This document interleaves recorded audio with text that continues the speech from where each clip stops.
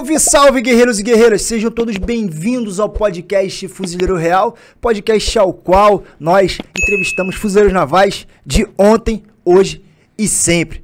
E mais uma vez estamos com um entrevistado altamente, mas antes de apresentá-lo, gostaríamos de pedir a todos que se inscrevam no canal e ativem as notificações e nos sigam nas redes sociais e também acesse nosso site, a Fuzileiro Real Story, aonde nós disponibilizamos materiais de artigo militar. Você que curte lifestyle militar, nós temos boot, mochila, camisas personalizadas, certo? Preço justo e a qualidade é absurda, é altamente, certo? E ainda gostaríamos de falar para vocês, jovens e também pais, que desejam que seus filhos ingressem nas Forças Armadas, certo? Nós da Fuzileiro Real indicamos o método QR, certo? Você que tem um sonho de ombrear com a gente, seja no CFN, seja nas outras forças, seja na Marinha de Gola ou no Exército, certo? Acesse aí o método QR e utilize o nosso cupom Fuzileiro Real, certo? Que você vai ganhar 5% de desconto.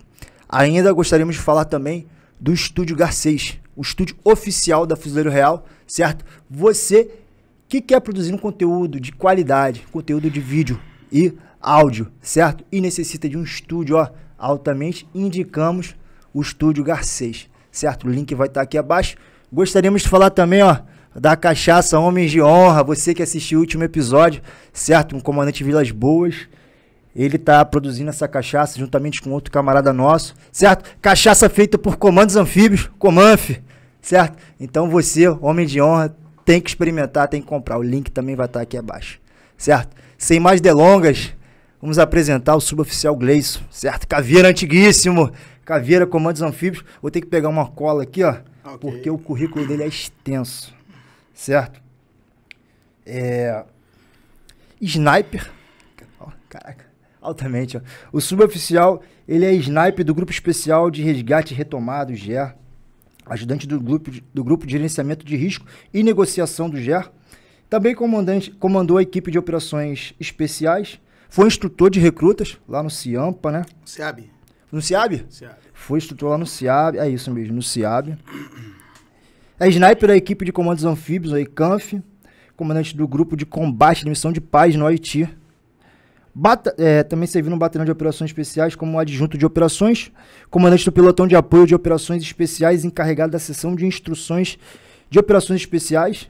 Foi suboficial MOR do batalhão de operações especiais, uma honra. Primeiro suboficial aqui, ó, suboficial MOR, havia aqui no, no, no nosso podcast. Também trabalhou na embaixada no Paraguai como cargo de auxiliado, uh, cargo diplomático como auxiliar do Adismo Naval, certo? Também trabalhou no Centro de Instrução Almirante Silvio de Camargo como supervisor do curso especial de comandos anfíbios, a UICA. Também trabalhou no Comando Geral como suboficial. E duas funções de suboficial? Isso. Altamente. Altamente e também como adjunto de operações na fragata de Independência na missão de paz no Líbano. Subir, muito obrigado por estar aqui, é uma honra obrigado, cara. poder estar batendo esse papo com o senhor, certo? Um currículo extenso, lindo, participou de várias missões, certo? Mas, para que a galera possa te conhecer um pouco mais, se apresente aí para nós. Primeiro, obrigado aí pelo convite, sinto lisonjeado de estar aqui, de poder contribuir e quero aproveitar para parabenizá-los pela iniciativa deste podcast, porque quando você chama o fuzileiro de ontem, você está valorizando tudo que foi feito para nós chegarmos até hoje aqui. Verdade. Então isso eu acho muito importante exaltar os veteranos, porque quem faz história colhe um presente satisfatório, entendeu? Então quem está hoje na ativa ele tem que olhar para trás e ver assim, poxa, eu estou é, trilhando a carreira ou seguindo o que foi plantado lá atrás. Então, parabéns, o canal está de parabéns, continue dessa forma. Bem, a minha, a minha história é uma história, é, digamos assim, meio difícil de, de, de, acreditar, porque eu nunca pensei em entrar para a Marinha. O meu sonho era ser do Exército. Uhum.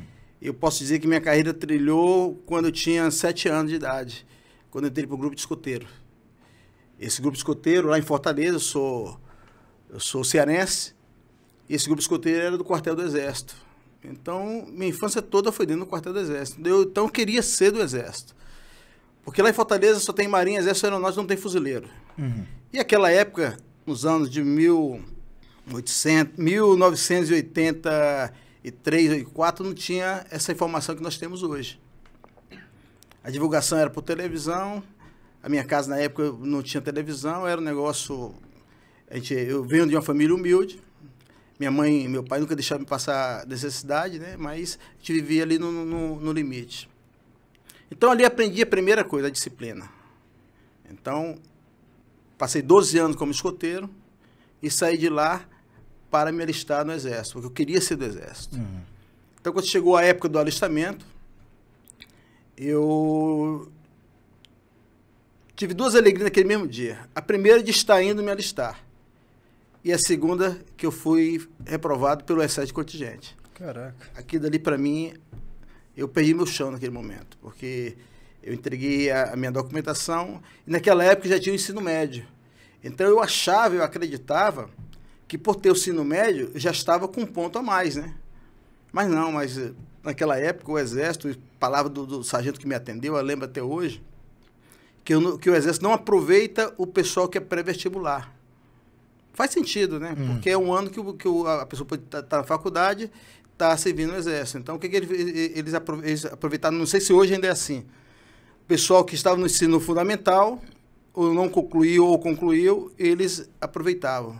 Quem, quem tinha terminado o, o ensino médio, eles dispensavam para dar tempo para o pessoal ir para a faculdade. Uhum.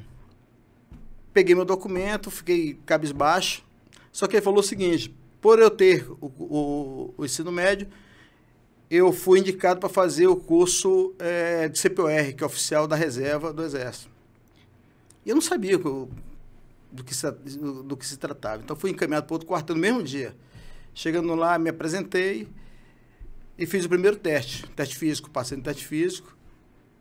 E depois, no mesmo dia à tarde, fiz um teste, o teste escrito. Só que nós éramos 60, 80 candidatos para 10, 15 vagas. Era muito reduzido. Então, uhum. passei, mas não atingi a média. Então, voltei para casa arrasado. Foram duas derrotas no mesmo dia. Eu não sabia mais o que fazer, porque a, o meu sonho era ser do Exército, eu não queria ser da Marinha, nem tampouco é, da Aeronáutica. Até que três dias depois, eu recebi uma, uma, uma, ligação de um amigo meu, na época não tinha telefone na, na casa do vizinho, falando que abriu inscrição para fuzileiro. Eu falei, pô, o que é fuzileiro? Não, fuzileiro é da Marinha. Pô, mas eu não quero ser da Marinha. Aí, não, mas eu vi um, um catálogo ali que ele usa camuflado. Aí, pô, isso me chamou a atenção, né? Não conhecia aquele negócio todo. Não tinha informação nenhuma. Aí pronto, fiz a inscrição. Minha mãe conseguiu dinheiro ali, paguei a inscrição. Beleza. Isso em 85. 1985. Fiz a prova e eram duas turmas para cursar em Natal. A turma 186 e a turma 286. Eu não passei na primeira turma, eu não atingi a média para a primeira turma. E a segunda turma ficou para ser chamada depois. Quando saiu a, a, relação da segunda turma, eu não estava entre os titulares. Eu era o 15 reserva. Caramba. Só que o sargento reuniu ali, chamou os, os reservas, falou assim, olha só, a Marinha paga a, tua, a, ida até Natal, dentro do ônibus, né, no ônibus fretado, só que se não, você, em 15 dias você não entrar como titular, você volta por conta própria. É um risco de vocês. Falei com minha mãe, minha mãe não vai, que Deus sabe o que faz, Deus é isso, Deus vai, Deus vai estar com você. Minha mãe, porque na época a gente tem que entrar com, com andanha, né? Você tem que chegar a comprar uhum. algumas coisas, não tinha dinheiro, minha mãe conseguiu dinheiro emprestado. Comprou, comprou a minha andanha ali. E naquele momento que eu embarquei no ônibus, eu sabia que eu não podia voltar sem a formação. Me apresentei lá, porque a gente eh, era os reservas, tinha os titulares. E aquilo dali me despertou um interesse maior porque em 10 dias eu já era titular. Porque muita gente vai embora. Muita gente vai embora. Aquela primeira fase ali. Então já era titular. Eu agora cheguei para mim mesmo, vou abraçar isso aqui com unhas e dentes. Então a minha primeira prova, é, quando começou o curso, a minha primeira prova foi a, a maior nota. Eu falei, opa, então estou bem. E assim foi, assim foi, graças a Deus. Eu tive atuação destacada. Caramba, que legal. E tive a opção de escolher ir para, vim aqui para o Rio de Janeiro. Né? Uhum. Vim para o Rio de Janeiro Isso em 87. Me apresentei aonde? No Batalhão de Operações Especiais. Aí começa a jornada Aí do Caveira. jornada. Então, 1987, é, fevereiro de 87, e em maio, março, nós começamos o Comanfinho. Março, nós começamos o Comanfinho. Ali, o Comanfinho, para mim, ele abriu a minha área operacional, o meu conhecimento operacional. Primeiro, porque eu não fui voluntário para ir para o toneleiro. Eu não fui voluntário. Porque não existia uma propaganda incentivadora para ir para o batalhão. Porque todo mundo queria ir para os batalhões de infantaria. Porque a essência do, do corpo fuzileiro é a divisão anfíbia, né? Isso. E todo mundo que não, primeiro, segundo, terceiro batalhão. Na época era, era, era o carro-chefe do pessoal, era isso aí. E o, o- como eu tinha opção de escolha, né, pela minha colocação, e eu não coloquei toneleiro, porque toda a imagem que se tinha no toneleiro, que chegou até a gente, chega até, até a gente, é que é um batalhão que ficar distante, que é o caso ainda hoje, continua distante, Uhum. isolado, né? E não tinha hoje essa. é, é, é, é, realmente era dentro do mato, não tinha, não tinha nada ali na- ao longo da Avenida Brasil. Então essa era a imagem que tinha configurado na gente. E Deus sabe o que faz, na hora lá da divisão lá, ó, você vai pro toneleiro. Eu vim. Vim com o pessoal, nos apresentamos aí. E graças a Deus, eu acho que foi uma. uma um tiro certeiro. Porque quando eu cheguei, você se assusta, né? Porque você vê um batalhão de comandos anfíbios, um batalhão rústico, e você não sabe o que, que te espera ali, porque nenhuma informação foi passada naquela época, não era passada essa informação do, do, do que, é um comando anfíbio nas unidades de escola. Porque fui, a, a minha escola foi lá em Natal. Uhum. Então não tinha essa informação. Meus instrutores não eram comandos anfíbios. Então eles não passavam essa, esse tipo de informação porque não tinham o conhecimento. Sabia que existia isso aí. Quando eu fiz o Comanfinho, eu falei assim, pronto, eu não vou fazer o Comanf. Por quê? Porque foram dois meses, você tem uma carga do Comanfinho similar do Comanf, e você olha assim, cara, que eu vou sofrer de novo essa porra mesmo? Então era isso que passava na minha cabeça. E até então, que, até quando você volta para a atividade do batalhão, você passa a gostar das atividades. Uhum. Aí você começa a, a se identificar com aquelas atividades. Foi aí que eu comecei a me despertar. Porém, eu coloquei um adendo nisso tudo. Eu só quero ser comanf depois que eu for a sargento. Porque a minha meta quando eu entrei para o Fuzileiro era ser sargento. Eu, quando fui de férias para o Ceará, eu falei para minha mãe, mãe, só volto aqui como sargento. E foi o que aconteceu.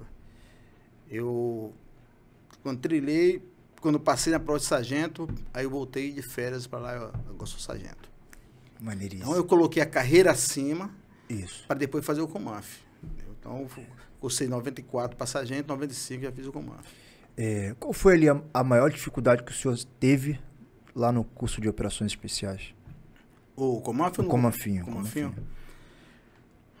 Se a gente, se eu, se eu falar para você tanto para o Comanfinho como para o Comanf, eu acho, eu acho um termo, um termo até um pouco é, é, é, é, é, é, difícil de resposta, porque o que é ruim para mim pode ser bom para você. Então, se eu falar para você que a, maior dificuldade é água, para você, você não, não é água.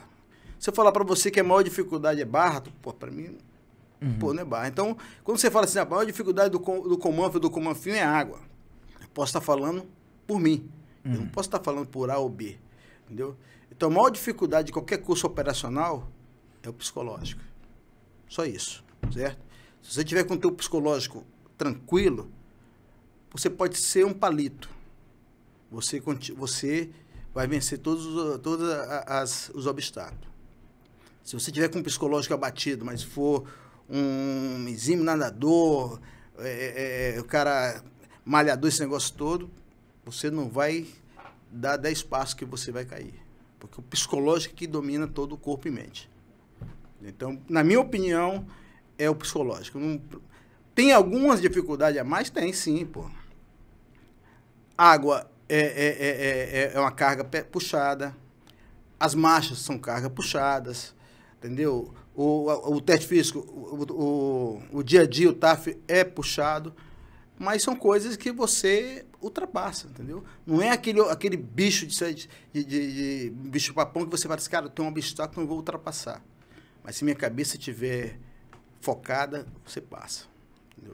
Então eu não vejo isso como um. um é, porque muita gente vai te falar, ó, o bicho do comanfo do comanfinho é água.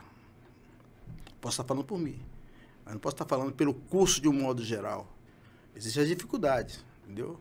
Mas não é um, um obstáculo que, possa, que não possa ser ultrapassado. Legal, legal. Aí, o que aconteceu? Eu poderia ter feito o Comanf como soldado. Eu fui cabo 90, sou cabo de 90. Não podia fazer 91 porque a prova, os testes eram no ano anterior, né? Eu podia ter feito o teste 91 para fazer o Comanf, o, o Comanf 90, como soldado 92, 93. Podia. Só naquela que época, naquela época podia fazer. A partir de 91. Ah, tá. Antes de 91, até 90 era só é, oficiais, sargento e cabos estabilizados. Entendeu? A partir de 91 foi que abriu para o, o, é, os soldados. E, só que naquela época era duas fases. Era o Comanf e depois o, a outra fase era o curso de operações especiais, o CESOPESP, que é destinado aos oficiais e sargentos. Uhum. Até, até que a outra fase era o curso Comanf, depois começava um outro curso destinado aos oficiais e sargentos. Que Entendi. era a parte é, de planejamento, a parte de comando, que, que, que é mais voltada para os oficiais e sargentos. Entendeu? Entendi. Aí com os anos, isso aí, se não me engano, eu não lembro agora, que voltou ao normal, agora o curso virou, voltou como era antes, na, é, até os anos 90, o curso completo, para todos, né? Então, é, eu acho que houve, houve uma grande, um, um, um grande avanço no, no, no, Comanf. O Comanf melhorou muito em termos de, de didática, em termos de apoio com essa evolução toda. A doutrina está sempre evoluindo, sempre né? Sempre evoluindo. Na verdade, a atividade de operações é, especiais não é estática, né? Você vai estar tá sempre evoluindo. Sempre, sempre, sempre. E, e, isso é uma preocupação que eu tenho. Eu acho, isso é uma opinião particular, eu acho que o Comanf ele deveria ser em anos alternados. Uhum. Porque a equipe de sondeira tem que ter um momento para parar, para poder é, se atualizar, entendeu? A batida é muito grande da, da, da, equipe de instrução. É ano, sai ano, é o Comanfinho, termina o Comanfinho, o Comanf. Quando termina o Comanf já em dezembro, já prepara já o Comanfinho.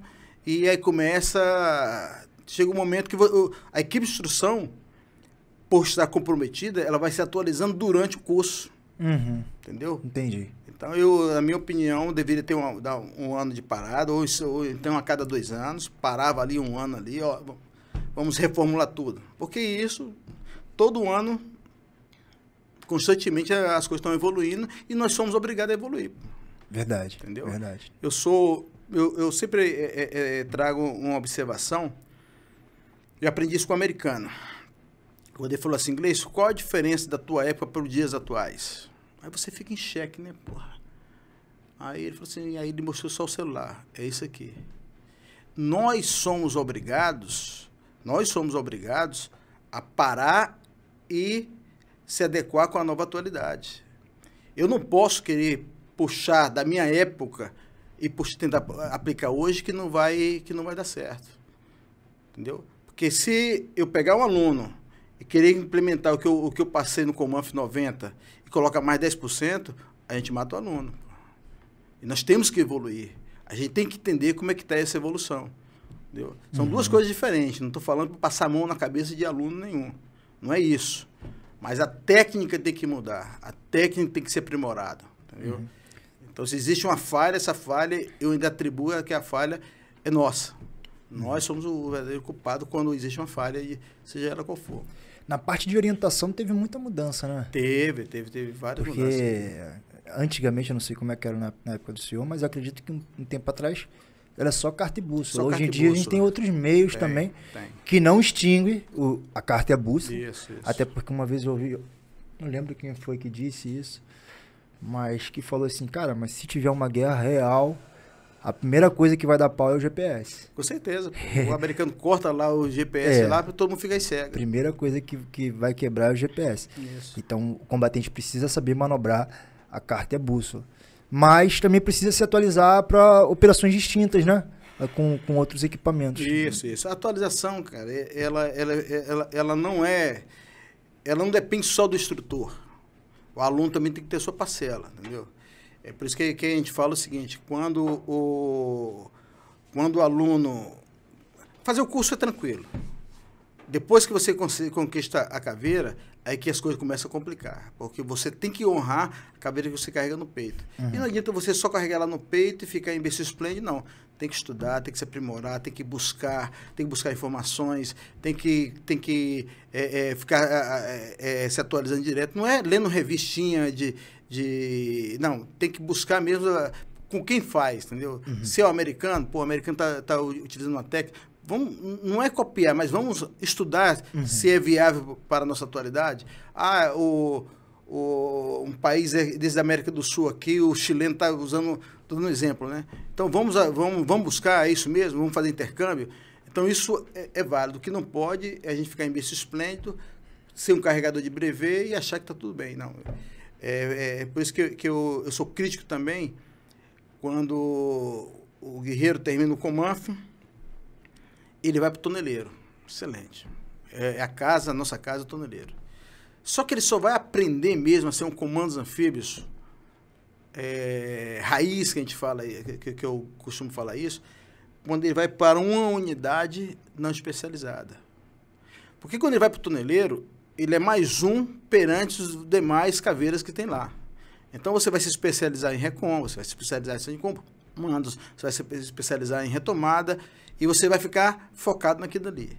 Quando você vai para uma unidade não operacional, na área dos comandos anfíbios, até mesmo os, batalhões de infantaria que nós temos agora, você é a referência. Então você vai ter que saber tudo. Uhum. Isso é bom porque te ajuda a estudar mais, te ajuda a implementar um pouco mais. Aconteceu comigo. Eu me formei, como sou comandante 95, 96 eu fiz o Guerra na Selva e o PQD. Então estava com terceiro sargento, estava cheio de ódio no coração. E eu era do Gé. E naquele momento saiu a minha movimentação para Brasília. É, foi outra coisa que, da minha carreira. Eu fui para Brasília e fui ser instrutor lá no CIAB. Fui, lá eu consegui colocar em prática tudo aquilo que eu aprendi, tanto no comando como, como no Guerra na Selva. E lá, eu, eu, eu, eu, tinha essa, essa, essa, essa vantagem porque eu estava buscando as informações, estava fora do meu habitat, que é do, do Batalhão de Operações Especiais, mas eu estava fazendo uma coisa que eu estava é, aprimorando os meus conhecimentos, uhum. entendeu? Então, eu acho que, que quando um, um comando FIB ele vai para uma unidade não especializada, ele engrandece muito, porque lá ele é cobrado mais, todo uhum. mundo é, é, é, cobra um pouco mais a, da atitude dele, entendeu? Então isso é importante. Não que no batalhão ele não seja importante, ele é fundamental, entendeu? Mas profissionalmente, individualmente, numa unidade não especializada, ele engrandece muito mais. Uhum. Verdade. E o, e o Comanf, não só o Comanf, os, os Comanfinhos também, eles são conhecidos pelo profissionalismo, né, cara? Porque a gente vê um, porra, o Caveira, o cara é carcaça, é, mas é mais o profissionalismo. Não é só pela carcaça, porque se fosse só pela carcaça, meu irmão, tinha uma porrada de, de comando, uma porrada de, de operações especiais, né? E, e aonde vocês vão, vocês levam uma bagagem muito grande, certo? É, e, e, isso realmente é o que faz a diferença e o que faz tantas pessoas admirarem esse grupo seleto. Eu, eu vejo em porra, missões que eu faço. Eu, Caraca, esse camarada é caveira. Aí tu começa a conversar, o cara entende realmente do que tá fazendo. Entendeu? Isso que é o legal, que é o importante, que é o que o senhor tá falando aí é, agora. O, o, o maior diferencial nosso é, é, são as, as, atitudes, né? Às vezes você pode ter, ser leigo, porque nós não somos dom de tudo, né? A gente tem alguma, tem alguma, alguma coisa que, nós, que a gente não, não domina, né? Uhum. E mas as atitudes ela responde por si só. O teu perfil responde por si só. Então quando você, quando a, tropa vê você, vê, vê o teu perfil, vê a, a, tua forma de agir, vê a tua conduta, aqui daria te dar um respaldo para poder você ser respeitado perante o, o teu conhecimento, entendeu? Quando é que a tropa começa a te cobrar? Quando ela ela, ela sente a tua insegurança em transmitir qualquer coisa, até mesmo no teu dia a dia. A tropa passa a te cobrar. E você se sente se cobrado. Isso é, isso é, isso é perigoso, entendeu? Então, é, a, a, atitude individual de cada comando anfíbio, de cada, de cada comanfim, ou de cada militar de operações especiais, ela é fundamental nos seus atos. Uhum. Porque não adianta você colocar o. encher o peito de brevet, não ter perfil, uhum. não ter conduta, ser, ser displicente, e a tropa percebe isso. Verdade, percebe mesmo, percebe. A gente, a gente acabou avançando aí na linha do tempo, mas é vamos, vamos voltar um pouco. Sim. Vamos lá, o senhor se formou como fim, depois o senhor foi ficou operando no, no toneleiro ou já foi cursar a cabo? É, né, então, então vamos lá. Então, voltando um pouco mais aí. Eu sou da turma 286 de Natal. Hum. Inclusive agora nós estamos fazendo 37 anos. Estou indo. Agora em setembro vai ter um encontro lá em Natal. Minha turma. Parabéns aí, ó. Pelos 37 anos. Isso, turma 286. é isso. E para você ver, né, cara, é, 37 anos, nós temos um grupo. Esse grupo ainda é unido, coeso, a gente ajuda um, ajuda outro. A gente sempre está mantendo contato. A guerra de marinha é, é, é válida, a gente continua o mesmo espírito naval, né? Uhum. A ponto de que, quando nós completamos 30 anos, eu estava no Paraguai, eu estava adidando no Paraguai, eu saí de lá e fui para Natal para o encontro de 30 anos. Nós fizemos lá no grupamento de Natal os 30 anos. Que legal. 31 anos foi feito lá, eu acho que foi em Recife. 32 anos aqui no Rio de Janeiro. É, e 33 anos, fizemos outro. Acho que 33 anos. Foi em Fortaleza. Fortaleza. E agora demos uma parada por causa desse período aí da, da, da pandemia, que negócio uhum. todo, né? Aí agora nós estamos voltando novamente, ele vai ser lá em, em Natal. Que legal. A gente começa novamente. Então a amizade nossa é bem, bem firme. Então, em 87, fiz o Comafinho e eu era da CCS. Porque quando eu me apresentei no batalhão, eu fui para CCS. É, as divisões, né? Uhum. Então eu fui para CCS, quando voltei fiz o Comanfim, fui, fui para CCS, quando terminei o Comanfim, fui para CCS, mas logo em seguida, como soldado, eu fui ali para a primeira companhia. O Recon? É, na, na, na, época, na época, era, né? era, a primeira companhia de operações especiais. Só. Só. tinha duas companhias. Primeira companhia de operações especiais, segunda companhia de operações especiais, que era nucleado GE. Uhum. Que era, era, era, era um, um, uma é o núcleo da segunda companhia é, de operações especiais é, é, era o GE. Uhum. Então, é, isso 87, 88. Isso, quando foi em 90, eu fui, 89 fui movimentado, porque naquela época, sempre passa, ainda hoje eu acho que não, não acontece isso, passa uma mensagem é, é, movimentando o pessoal, né, para necessidade de serviço. Recompletamento. Recompletamento de pessoal. E no toneleiro só tinha dois lugares, que era, que era três lugares que era carro-chefe. Centro de munição, que era lá, lá no Buquê, na, na, ilha, né? Uhum. Grupamento do Rio. E outro, outro quartel desse aí. É, é, lá na ilha também. Então eram os três lugares que pegavam os soldados lá do batalhão. Então nessa aí eu fui movimentado para o comando de apoio, que hoje é o CEPES. Uhum. Eu passei ali oito meses, nove, nove meses, que já, já, já tinha feito a prova para cabo, né? Já tinha sido aprovado, oito, nove, para cursar em 90. Então eu fiquei ali nove meses de lá, fui cursar em 90. Cursei em 90, 90, 90 fui para o grupamento do Rio, fiquei um ano no grupamento do Rio, 92 voltei para o batalhão. Aí fui para a segunda companhia como cabo, e fiquei na, na segunda companhia até 93, onde eu passei para sargento e fui cursar 94. É legal que o senhor também pôde aprender um pouco da área administrativa, né, nesse meio tempo, né? É, porque o que acontece? A gente, é, é, nós somos, nós somos polivalentes, né, cara? O fuzileiro em si é polivalente. Ou principalmente o soldado, e, que não tem especialidade, né? Ele pode estar estando em qualquer lugar que ele, ele, ele, todo conhecimento é, é válido, né? Uhum. Até mesmo quando você vai para. Você pega uma especialidade dessa qualquer, você. Hoje nós vemos aí MO na, na secretaria, você vê vários, várias é, especialidades em determinados locais. Não? Então isso aí foi bom porque é, me abriu a mente, né? Eu servi na CCS, servi na primeira companhia, servi na segunda companhia e, e fui cursar em 94. Só que tinha um porém. Cursei em 94, terminei e voltei para o, para o batalhão, porque não era como hoje, né? Porque o, o AP é, na minha época era feito depois, Uhum. entendeu? Agora não, agora você fica um ano lá, né? Faz o curso sargento e depois você já emenda com a P, não é isso? Isso. Pois é, então é meio do ano acaba o sargento, voltei para o batalhão, voltei para o Gé. E eu era da equipe de atiradores, eu era sniper da equipe de atiradores do Gé. Só que o Gé era todos de comandos anfíbios e os que não eram comandos anfíbios eram os atiradores, nós éramos quatro atiradores. Uhum. Isso me incomodava. Porque quando a gente. Quando a gente você está num grupo só de Comanf e você não é Comanf, você fica se se sentido excluído, né? Teoricamente. Não é que o- isso acontecia, mas na- a lei natural era essa, né? Uhum. Nós éramos quatro atiradores. Aí eu- surgiu aquela Operação Rio, foi aqui em 94, lá no Dendê. Não sei se chegou a. a- a- Eu não, era, eu, não, 94 tava nascendo. Pois é, putz, caraca, sou velho pra caramba. Mas vamos lá. Aí eu, eu passei a ser atirador de helicóptero. Que legal. Foi o primeiro, um dos primeiros, eu e o Finado Bueno. Eu passei a ser atirador eh, de helicóptero. Nós não tínhamos doutrina nenhuma, a gente não tinha técnica nenhuma, não se tinha conhecimento nenhum. As polícias não operavam com, eh, eh, com apoio eh, eh, Aéreo. eh, aéreo com, com fuzil. O treinamento foi todo feito no toneleiro. E a gente começou a treinar, treinar, treinar, treinar. E a gente passou. eu era na aeronave, o, o Finado Bueno em outra aeronave. A gente apoiava as equipes nossas no, no, no, no chão. Aqui dali começou, não, eu tenho que, eu tenho que mudar daqui. Tenho que me especializar.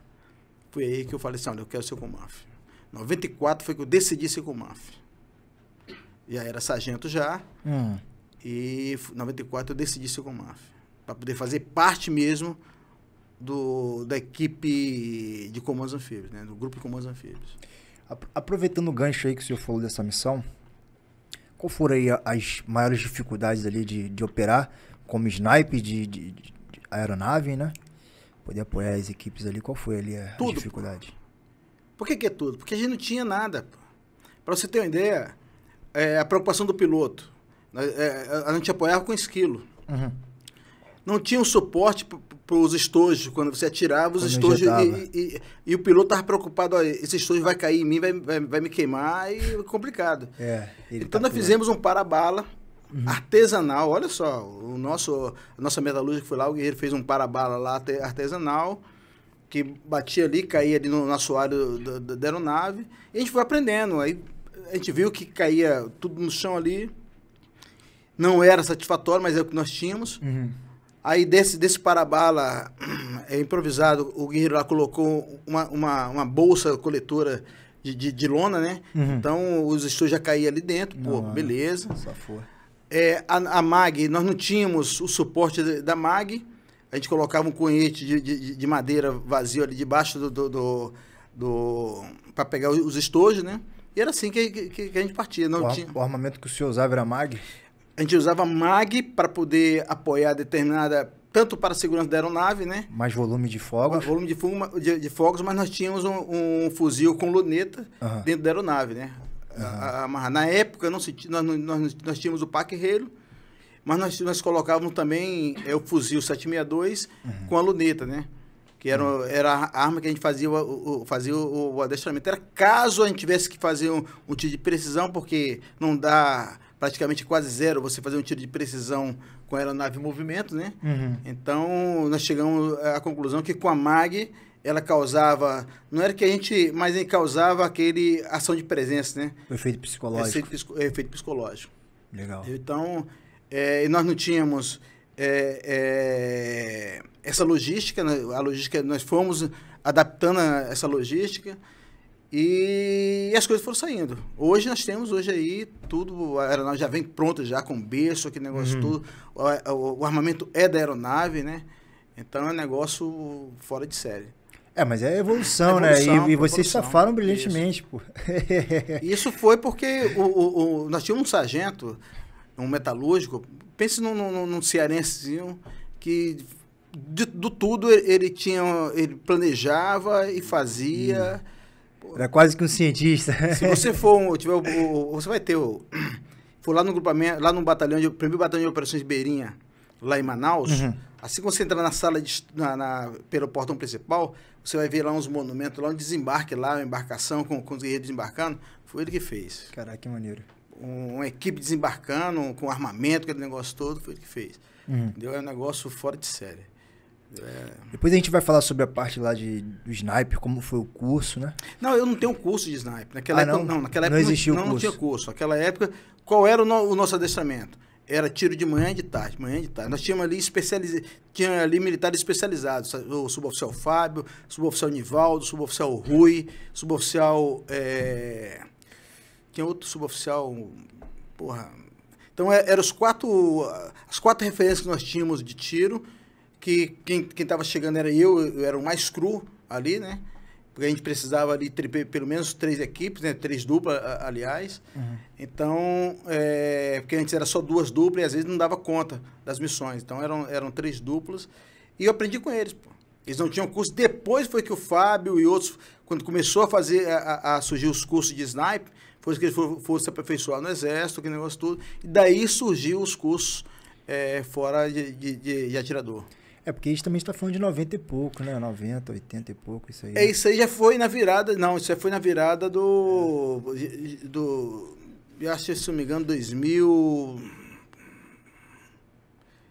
Não, acho que foi isso mesmo, 90, 90 alguma coisa. É porque eu. eu é isso mesmo, 90 alguma coisa. Eu acredito que o, o curso de sniper, né, deu uma virada de chave ali que não só as Forças Armadas, mas também as Forças Auxiliares começaram a buscar mais depois daquele incidente que teve com o policial acabou atingindo uma vítima. Isso do, do evento 174, né? Isso, foi, 174. foi, Dali, foi é, 90 e pouco isso aí, é, foi? A, ali foi o, divisor, né? Para todo mundo, né? Uhum. Tanto é que, que o batalhão serviu de oficina para as tropas e ia deixar lá no, lá no batalhão. Uhum. Entendeu? Foi, foram tropas de, de, de, da polícia, fizeram lá um, um, uma, umas oficinas para escolher a melhor entrada, né? Nosso pessoal saiu bem. O GE saiu bem pra caramba. Entendeu? Legal, legal. Então, e hoje nós temos. É o caçador, né, cara? Isso. Então hoje é o caçador. Então há uma diferença sobre do sniper, entendeu? Para o caçador. Entendeu? São duas missões distintas, similares, mas, mas distintas, né? Vamos entrar nesse ponto dos cursos. Mas antes, eu quero saber do Comanf. Como é que foi? Porque o senhor se inscreveu no Comanf. É, aí eu me inscrevi no Comanf. Não tinha esse aparato que tem hoje, né? Uhum. Que, que, Eram duas que, fases na época o senhor tinha dito, né? Eram duas fases, duas fases. O curso é, é um só, eram seis meses para, é, é, é para oficiais e sargentos, entendeu? Para o, o, o, os cabos soldados, quando concluiu o Comanf, eles saíam e nós continuávamos no curso, né? Os oficiais e sargentos, que era a parte, a parte de, de planejamento, planejamento. Entendeu? Então, em 95 fiz o Comanf, fui o primeiro colocado, Comanf. Caraca, altamente. E depois começou o curso, o CESOPESP, e quando terminou o, o, o Comanf, eu voltei para o GE novamente. Eu voltei para a equipe de atiradores. Só que eu, é, é uma atividade, eu confesso para você, que eu não me identificava como atirador. Eu me identificava como elemento de retomada. Uhum. Era isso que eu queria. Eu queria entrar na, na, na equipe de retomada. Só que naquela época existia um, um, uma tipo uma, um, uns degraus para você chegar até a retomada, que era o sonho de todo comando anfíbio, é, fazer parte de, de, uma unidade de assalto. Uhum. Então eu fui para a equipe de negociação, eu fui para a equipe de reconhecimento de segurança, já era, do, já era sniper, certo? Uhum. Aí eu saí dali, fui para a equipe de reconhecimento de segurança, fui para a equipe de, de fui para a equipe de, de negociação, até que eu cheguei à unidade de assalto. Legal. Hoje, vamos, hoje não, hoje não tá mais assim, não. Eu não sei como é que tá hoje, não. Vamos é aproveitar, é vamos dividir ele por pontos. O que uhum. cada equipe faz. Vamos lá. É, equipe de segurança e, e, e, vigilância e segurança, que o sniper estava, estava, locado, é, estava incluído nisso aí, eram os elementos que entrava antes, uhum. fazia observação do, do objetivo, uhum. certo? E para passar as informações para as unidades, para a unidade de assalto que está para o comando que estava lá recebendo é, as informações juntamente com a equipe de reconhecimento de, de, negociação, que era a equipe de negociação que ficava junto com o comando do, do GER e junto, e junto com o pessoal é, é, análise de, de, crise, né? Ficava no, no, no PC próximo do, do, cativeiro, próximo do, do objetivo. Enquanto isso, a unidade de assalto, as duas unidades, ou três unidades de assalto, estavam lá se adestrando. Se preparando material, aquele negócio todo tal, preparando um, um, uma maquete do, do, do terreno, uhum. entendeu? É, é, o tempo todo preparando a maquete do terreno, que tinha a planta baixa do terreno, para poder fazer os ensaios, né? Então, depois fazia a planta baixa do, a, do terreno ali, a, a, toda a maquete.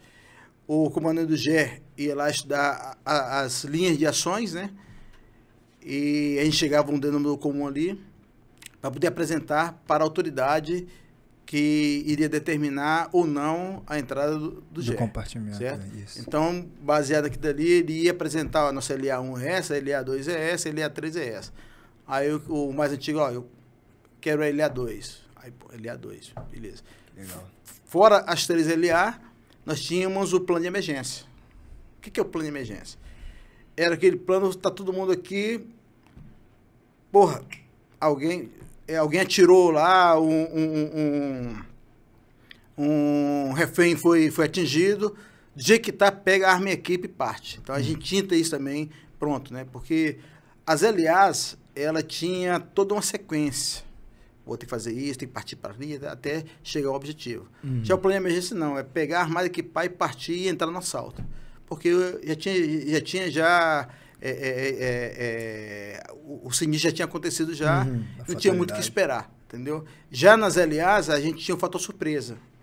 A gente só chegava lá para quebrar, só, é, só, só assaltava quando rompia o contato, uhum. certo? Já o plano de emergência não. O plano de emergência, aquela cartada que nós tínhamos, partir já, eh, já chegava chegando. O GE é uma companhia que tem que ser muito detalhista, né, cara? Tudo, todos os centímetros ali daquele aquele espaço que vocês vão adentrar tem que ser tudo bem planejado, né? Quase que cirúrgico, né? As é. atuações que vocês fazem. Tem tempo para entrar e para sair? Quando, por exemplo, você fez, tá, vai fazer uma retomada ali de um, de um, de um, de um uma pessoa ali que foi capturada, né, uma hum. vítima e tal. Tem tempo para vocês entrarem, resgatarem a, a, vítima, o refém e sair?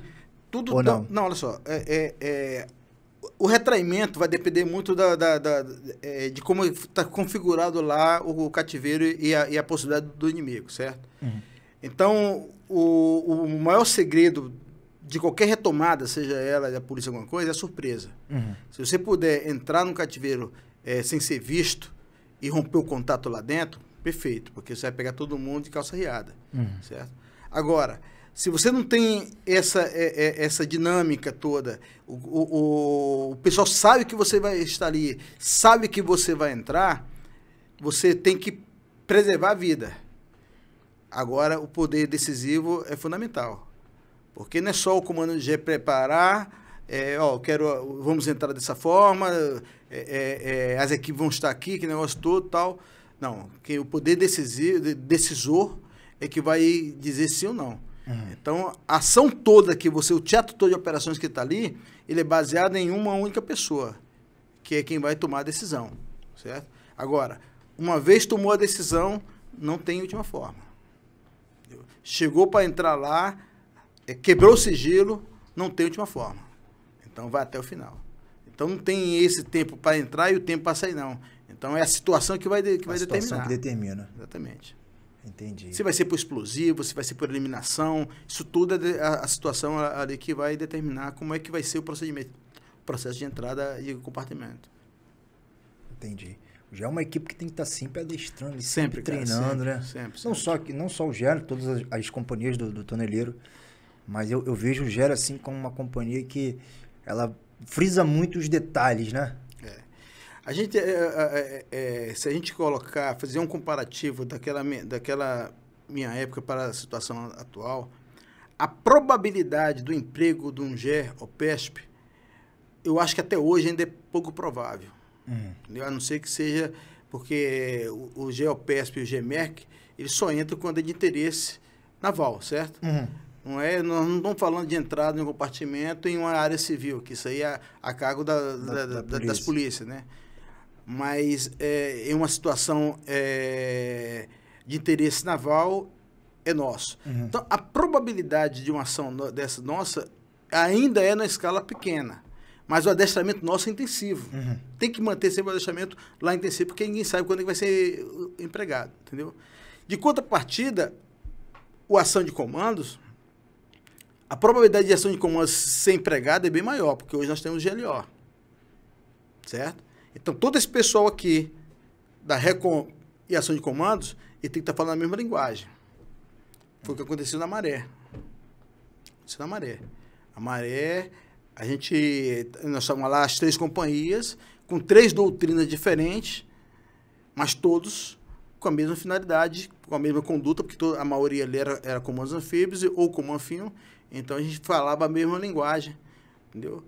Algumas coisas é, é, é, eram diferentes, sim, mas o adestramento trouxe a gente no, no uniforme, né? Uhum. Então, é, é, é isso é, importante ressaltar. A gente tem ali um geopesp com adestramento sempre lá em cima, com probabilidade de emprego um pouco mais baixo, mas nós temos ali, estou falando em termos de retomada, tá? Uhum.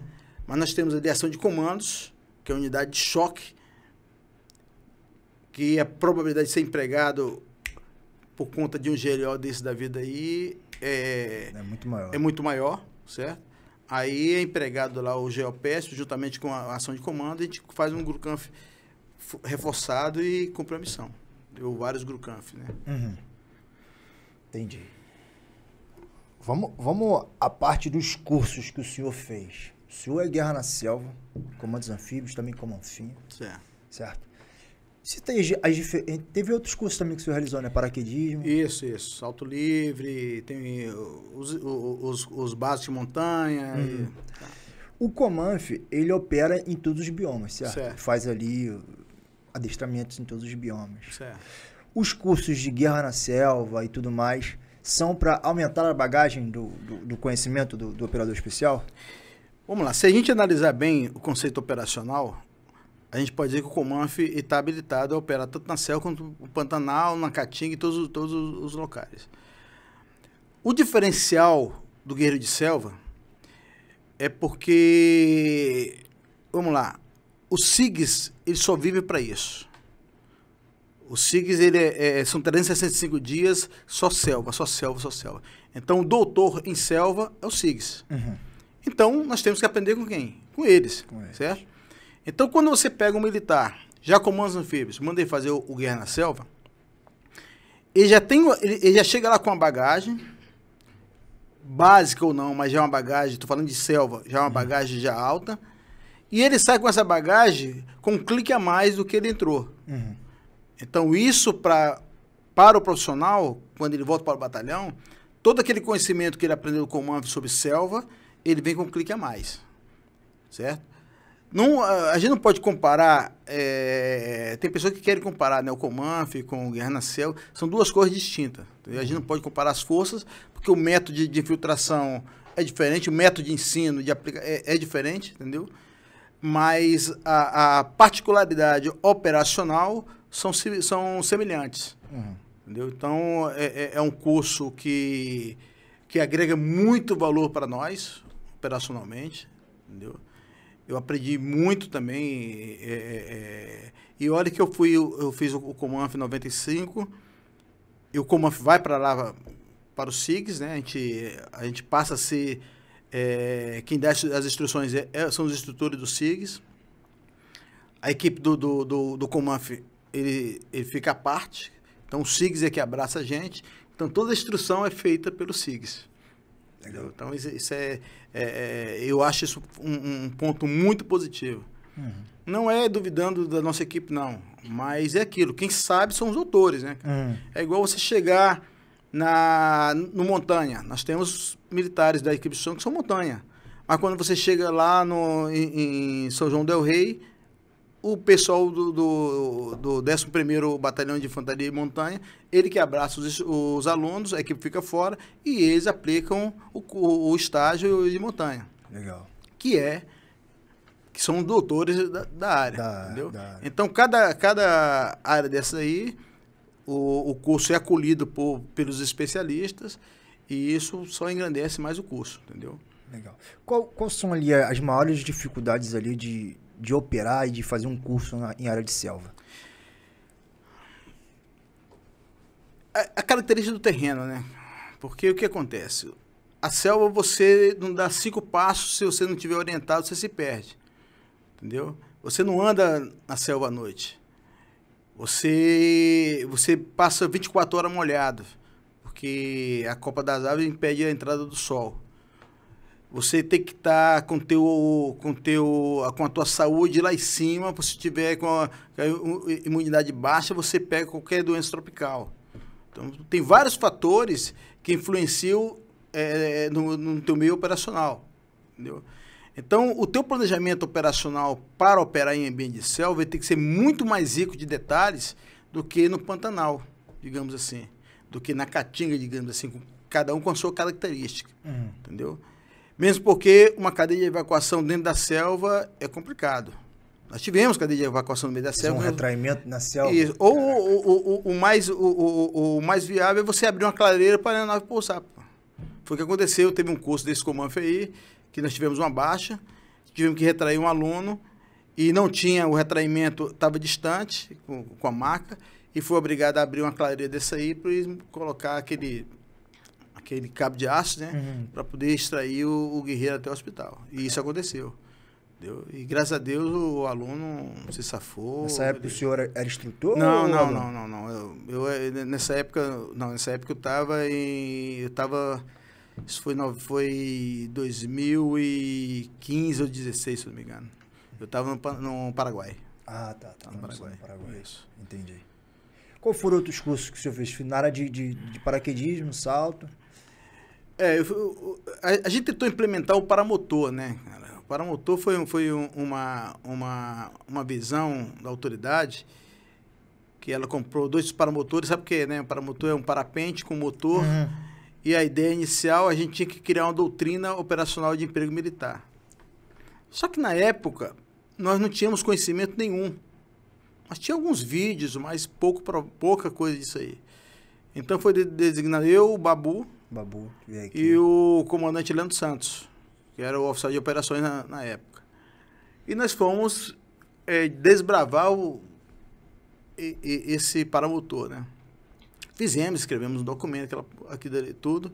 Naquela época, nós não tínhamos drone, aí o drone já estava iniciando. Uhum. A gente queria fazer um reconhecimento, dar para fazer um reconhecimento a, a, a 12 mil pés, porque o paramotor ia a 12 mil pés, nosso motor ia a 12 mil pés.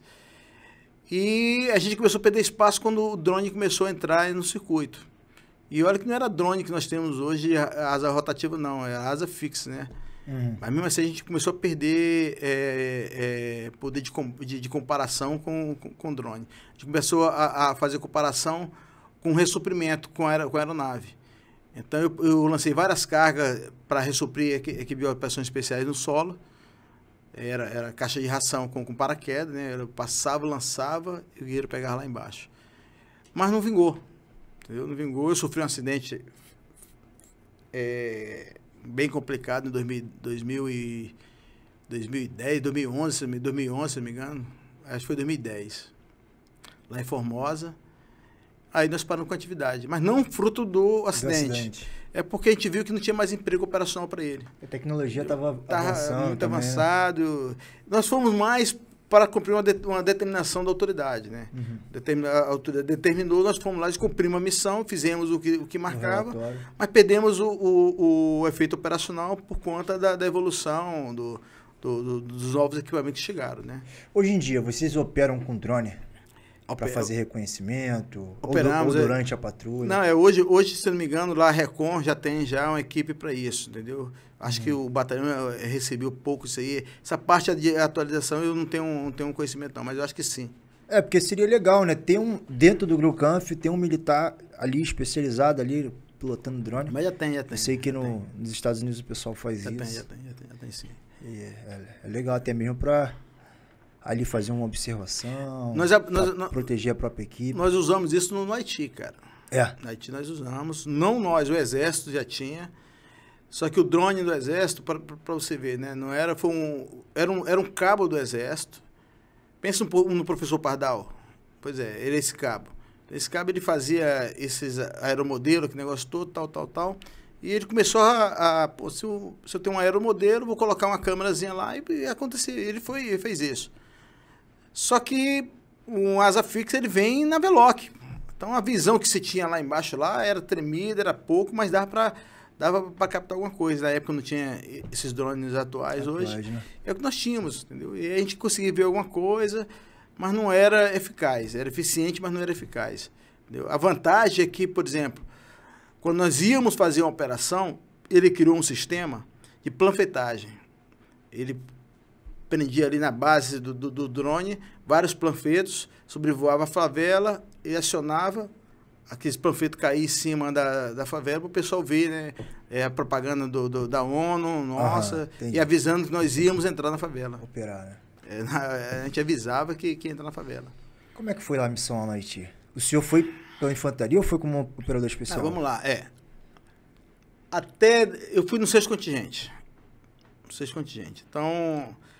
É, Operação de paz não consta na carta de operação de paz da ONU, operação de, é, de operações especiais. Não, isso é, é, é proibido. Entendeu? Então, todo mundo que está lá é para a paz. Então, não existe uma ação ofensiva. É ali só para defender a si próprio ou instalações da ONU. Certo? Esse é o, o e a população civil. A população. Então, esse aí é o contexto de uma missão de paz. Falando do modo, do modo grosseiro. Entendeu? E os militares da, da, da missão de paz eles têm que ser vistos. A ação de presença é fundamental. Não é o caso, não é o caso nosso de operações especiais, que a gente não pode ser visto. Então, tá, até aquela época, é, não era configurado. Nós tínhamos uma ECANF. Essa ECANF era composta de um sargento com os anfíbios e quatro cabos e soldados com os anfíbios. Só que nós não, nós não tínhamos cabos, é, soldados, não, só cabos com os anfíbios. Nós não tínhamos cabos suficiente só com os anfíbios. Se não me engano, nós tivemos só no primeiro contingente, que era dois cabos e dois comanfio. Aí começou a completar com comanfio. E foi assim, primeiro contingente, segundo contingente, terceiro contingente, quarto contingente, quinto contingente, sexto contingente também. Só que a situação no Haiti estava é, pior, piorando cada vez mais. Então a ONU mudou a regra de engajamento. E nós íamos, eu e os outros quatro comandos anfíbios, que era o, o Babu, o, o sargento Givanildo, o sargento Gato e suboficial Coelho. Nós éramos cinco. Nós éramos cinco. Nós íamos pelo Estado-Maior do Brabate. Nós fomos selecionados para ir para o Estado-Maior do Brabate. Mas nós, eh, nós queríamos operar, só que não tinha vaga no, na infantaria. Uhum. Que a infantaria, pela, pela tabela de lotação da lá, era X sargentos, X suboficiais e X cabos soldados. Né? Então tinha vaga para cabos. Por isso que era um, era um sargento da ICANF, um sargento e quatro, cinco cabos, cabos é, da ICANF, porque esses cabos completavam a tabela de lotação uhum. e não tinha vaga para gente. Com essa mudança, é, o comando entendeu, aqui o comando da FFE, passou, nós configurar uma equipe é, robusta só de comandos anfíbios, e os militares que iam, os militares de, de, de que não eram especializados da infantaria, foram pro, para, o, para o Brabate, né, para o Estado-Maior do Brabate. Que para eles foi uma boa, né? Era a pessoa que não queria, não queria combater e nós queríamos combater. Só que nós fomos com duas, dupla função. Nós éramos ECANF e nós éramos pelotão. Uhum. Então, quando tinha uma missão cirúrgica, ativava a ECANF. Quando tinha uma missão de batalhão, nós éramos comandantes, de, no meu caso, comandante de, de grupo. Uhum. O Coelho, que é suboficial, era auxiliar do pelotão. Os outros sargentos era auxiliar, era membros ali do, do, dos demais pelotões. É, é, nós éramos, nós estávamos fragmentados dentro da infantaria. Teve, teve algum sinistro durante? Teve, teve, teve. Esse é um sinistro que está na minha memória até hoje. Então o que aconteceu? Eu era atirador. O Babu era meu segundo atirador. Então, é, a nossa configuração, eu era atirador, o Babu era segundo atirador, nós tínhamos explosivista, nós tínhamos é, o comunicante, que era, que era, que era o, um CN, e o suboficial, que era o, o, o comandante, mais um oficial. Então, nós éramos sete com oficial mais os comandos que era da infantaria, que quando, de acordo com a missão, a gente chamava o pessoal e fazia aquele grucan, aquele grucan, aquela ECANF reforçada, né? Uhum. Então, é, nós passamos o, o adestramento todo se preparando para uma, para uma missão que a gente até então a gente não sabia que, que ia ser empregado, porque é uma missão de paz. Então, teoricamente, nós fomos para lá para não combater, e sim para se proteger e proteger a população. Essa é a, A visão a da- visão da da, ONU. ONU. certo? Com essa mudança aí, houve uma necessidade do emprego operacional. O Exército já tinha o DOPAIS. DOPAIS era um destacamento de operação de paz que era formado por FE e comandos. Entendeu? Mas ele era, ele, eles eram caracterizados como capacete azul, igual a gente. É, operacionalmente, eles não existiam pa, para, o, para a cinemática da ONU. Né?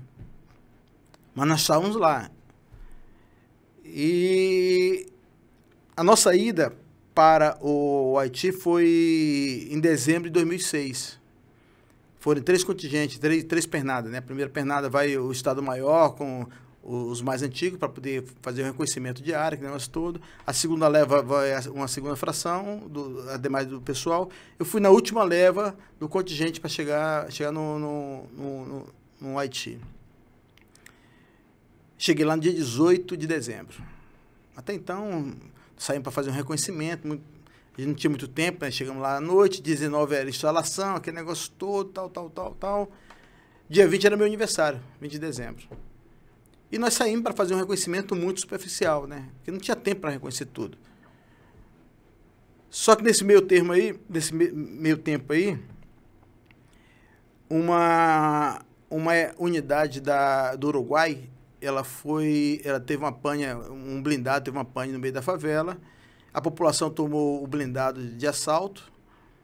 A, a tripulação, a guarnição saiu, Evadiu. evadiu do, do- da viatura e abandonou o armamento, abandonou tudo lá, né? E eles tocaram fogo em tudo, mas eles pegaram o armamento, pegaram um fuzil de precisão, pegaram munição, pegaram equipamento de visão noturna, pegaram é, é, outros equipamentos militares.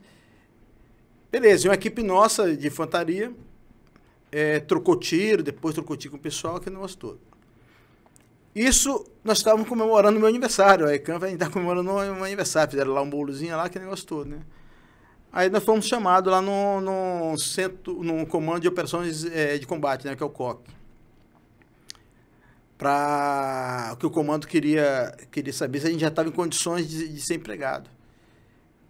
Porque o objetivo era buscar o atirador deles, porque se o cara pegou um fuzil de precisão, ele vai ocupar uma posição de, de domínio no terreno para poder ficar abatendo os possíveis alvos dele, né? Como lá era uma favela plana, não tinha, não tinha, tinha poucas casas de, segundo, de dois andares, ficava difícil, tanto para a gente como para eles. E a primeira missão nossa foi essa, olha, a missão de vocês é capturar isso, isso, aquilo, outro. Buscar o, o atirador. A gente tinha característica nenhuma. Mas não é, não é só pegar, botar o fuzil nas costas e partir para a favela. Tem que ter um planejamento, a gente tem que conhecer a área, tem que saber isso, aquilo, outro, tal. Beleza. Fruto disso aí, é, o comando achou por bem dar, um- dar um- uma segurada e fazer um planejamento que, de uma missão que já estava para sair, que é a Operação Beatriz. Ele antecipou a data né, de, de- dessa missão. E isso era dia 20, 22, no dia 20. Quando foi dia 22, foi, foi, foi acionada essa missão. Uhum. Então, a gente não tinha característica nenhuma ainda do terreno, do- do- das instalações. A ECANF 5, passada, ela conhecia o terreno. Eu, como era o operações da, da ECANF, entrei em contato com, com até o comandante Bragança, que era o comandante da, dessa ECANF. Ele me passou uma planta baixa da- das possíveis casas de, de dois andares, né? Que a gente podia ocupar. E foi a- onde foi a nossa base. E a gente começou a planejar para entrar, né? N- Fizemos uma, uma maquete de, de entrada, esse negócio todo. E nos preparamos para essa missão. Até que, a- nessa mesma noite do dia 22, nós recebemos uma visita à incorporação do, do, do Paz do Exército. Então, nós éramos três equipes de operações especiais, duas do Exército e uma fuzileiro. E nós tínhamos três viaturas. E aí a gente começou a fazer um planejamento ali eh, superficial, rápido, de como seria a entrada, cada equipe ocupar, porque a gente não teve tempo de ensaiar. Uhum. O ensaio estava na nossa cabeça. Ah, vamos entrar aqui, vou, ocupa aqui, tal, tal, tal, tal. E cada um, a, a- a- a apresentação era cada, eh, cada equipe isolada, porque a gente não teve tempo de, de- de ensaiar. Quando foi três horas, começamos o deslocamento do comboio. Isso na madrugada. Da madrugada, do dia 22. Madrugada dia 22, 3 horas da manhã, começamos o deslocamento. A hora H era 3 e meia, 3 e 40. Essa hora... É, não, eu acho que a hora H era, era 3 e meia, 3 e 40. Partimos para lá. E a infantaria toda vinha nos outros blindados. Só que a infantaria só ia alagar a, a, a favela, que é Cité Soleil, depois que nós ocupássemos os pontos para poder dar cobertura para a infantaria, para poder a infantaria varrer o terreno. Só para pegar um, um adendo aí, Cité Soleil é a maior, a maior favela do, do Haiti. Do Haiti. A favela mais brava. É, é. Então é cerca de mais ou menos 300 mil habitantes, certo? Muita gente armada? Muita, muita. Então, o que acontece? Eu, eu, eu, eu vou fazer algum comparativo aqui com, com o Rio de Janeiro. É, Complexo da Maré. Ela é dividida ali, basicamente, linha amarela, certo? Então, uhum. um lado está a Vila do João, Vila do, do, do, do, Pinheiro, do outro lado está ali Nova Holanda, está a Baixa do, do Sapateiro, etc, etc. Aí, voltando lá para Haiti, é, se Tessolera mais ou menos dessa forma, é uma favela plana também, dividido por uma rua principal que eu coloquei aqui como a linha amarela, certo? Uhum. Então, de um lado era, era Druelá e do outro lado Ibuenef. Certo? Então, era... Ao sul ficava uma base nossa, que é a base do... um ponto forte, e ao norte ficava uma base, um ponto forte do exército. Mas ali no meio não tinha nada. No meio era terra de ninguém. E não, e, não, não podia fazer patrulha a pé, era só patrulha motorizada e blindada. Entendeu? E essa favela Buenef, tropa nenhuma ainda tinha entrado ali, nem a polícia haitiana tinha entrado na, naquela, na, naquela, naquela posição. Nós éramos os primeiros a entrar ali. A gente precisava dominar aquela área ali. Então, quando nós partimos, a infantaria ela foi para o ponto forte 21, que era o ponto forte que fica, ficava mais ao sul, e aguardando o nosso já para poder eles avançar. Foi por volta de 3h30, 3h40, nós chegamos, entramos na favela como de assalto, e nós entramos com força, com AT4 entendeu? Para abrir as brechas, né? Bom. Isso. Lições aprendidas, né? Isso foi uma decisão do Exército, nós nós cumprimos. Ele, ele era o mais antigo e nós não sabíamos a distância que era que era que nós íamos iniciar o primeiro tiro, né? Nós sabemos que uma granada do AT-4 ele precisa de mínimo ali 25 metros para as aletas, as aletas abrirem para poder ao acionamento. Né? Nós, então nós tivemos nega em alguma dessas aí, porque teve, teve obstáculo ali que estava menos, menos do que 25 metros. Uhum. Então tinha duas posições do exército à frente e uma posição nossa à retaguarda. Então nós começamos, fomos recebidos com tiros, né? troca de tiro, foi, foi a manhã toda com troca de tiro. E eu não podia, eu estava coberto abaixo, que eu era atirador. Eu só podia desembarcar depois que a situação tivesse é, é, ocupada, que eu pudesse subir juntamente com, com, com, com o Babu para assumir a posição de, de, de tiro. Uhum. Só que não teve janela para gente. Não teve janela para gente, não, não teve janela para gente, não tinha cobertura, não, não, tinha como dar cobertura, né? Que a, a troca de tiro foi intenso, intenso mesmo. A Mag cantando, os, atiradores do exército é, é, é trocando tiro. E as equipes nossas desembarcou, conseguiu desembarcar e se abrigou para poder ocupar a, outra, a posição, para poder abrir o portão para que a gente pudesse entrar, né? Esse dia foi uma noite de aço. Foram mais ou menos 9, 10 horas de combate. Nós tivemos uma baixa real nosso, da infantaria nossa. O guerreiro, graças a Deus, não morreu, né? O capacete segurou o, o projétil, né? Atingiu a cabeça dele. Atingiu, mas não, chegou a, não chegou a, a a óbito. E, aí a óbito. Mas tu imagina o sonhaço nosso, ali com os rádios, fala assim, baixa real, baixa real, e a gente não sabia quem, quem é essa baixa real. Aí depois que a gente começou a tranquilizar, ele foi, foi pro hospital, mas já, já, está bem. Então, isso é uma imagem que não sai da minha cabeça. Porque esse foi o primeiro combate real nosso. Entendeu? Então foram. Nós chegamos lá às três e pouco da manhã, nós voltamos, era, era por volta das 13 horas da tarde, entendeu? Sem alimentação nenhuma, café é. nada, almoço nada. Então esse foi o nosso primeiro confronto real. real. Mas o senhor conseguiu tomar a posição? Conseguiu? Tomamos, ocupamos a posição. Depois que, que, que, que, que a gente estabele, que, que o exército conseguiu abrir a brecha lá no local deles.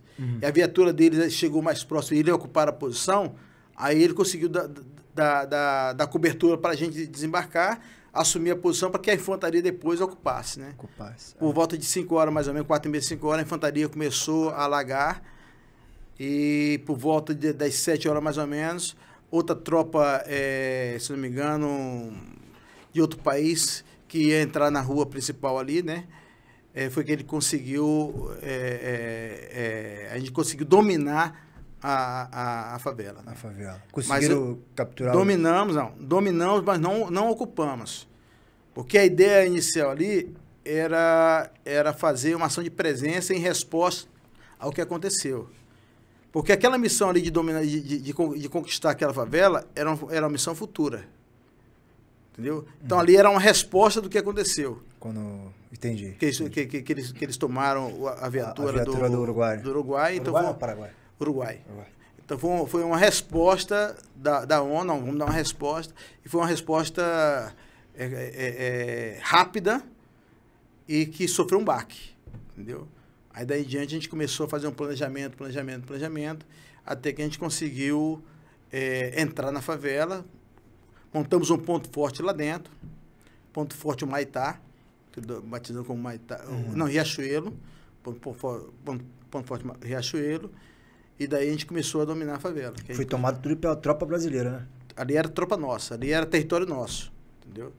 Aquela, é, é, e Neve ali era, tro- era, era, era a área da Marinha, a área do Golfo Fuzileiro. Então nós, nós fizemos três pontos fortes ali. Ponto forte Paysandu, que esse ficava ao sul. Aí ocupamos a, fazer, a, a Druelar, aí é, fizemos o ponto forte o Maitá. E depois, por último, o ponto forte é, Riachuelo. Entendeu? E o interessante é que quando eles souberam que a gente ia começar a ocupar, eles passaram a destruir toda a casa que tinha dois andares, para a gente não ocupar como atirador. Porque sabiam Sabia. que tinham atiradores. Sabia? Então, é, os caras são. Os caras têm, um- têm, têm um, um poder de combate. é, a maldade deles é, é- é muito maior do que, do que a capacidade de, de- de- de planejamento, entendeu? Uhum. Eles são muito. Eles são muito. Trabalham si- simplesmente na. Não vou falar covardia, que é uma palavra meio pesada, mas eles trabalham no- é, de uma forma sem conhecimento de causa. Uhum. Mas eles surtiu efeito o, o, o planejamento deles, né? Eu ouvi dizer que ele teve muitas atrocidades, né? Por parte lá do. Muita, dos muita, muita, muita. A ponto deles usarem as crianças, cara, pra gente não, não, pra gente não, Não não, não atacar, entendeu? Eles, eles é, é, cortavam mão de criança, entendeu? Batiam em mulher. entendeu? Então era. E quando nós chegamos lá, estava na época de sequestro, né? E, e sequestrava gente pra caramba pra poder pegar, pegar, pedir resgate. E a gente sabia, a gente acompanhava isso aí, né? Mas até que a gente pacificou. Então, se você olhar em todas as reportagens aí, o sexto contingente conseguiu pacificar, Cumpriu a missão. cumpriu a missão. Só que hoje em dia voltou, né, cara? Daí surgiu as UPP aqui no Rio. As UPP surgiu fruto dessas nossas operações lá no Haiti. Foi um No- estudo que fizeram? é, o secretário de segurança na época, o Beltrame, ele foi para o Haiti para ver como é que funcionava.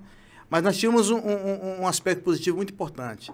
Nós assumimos, mas nós entrávamos com ação civil-social, Uhum. que era os açuíes. Então a gente, a cada 15 dias, não sei, um- uma vez por mês, não, lembro, a gente dava comida, dava água, porque o negócio lá é água, né? E entrar com assistência médica hospitalar. Então, isso para ele, criança brincando, né? Aquelas oficinas com, com criança. Então, isso ajudou bastante. Mas, enfim, voltou tudo normal.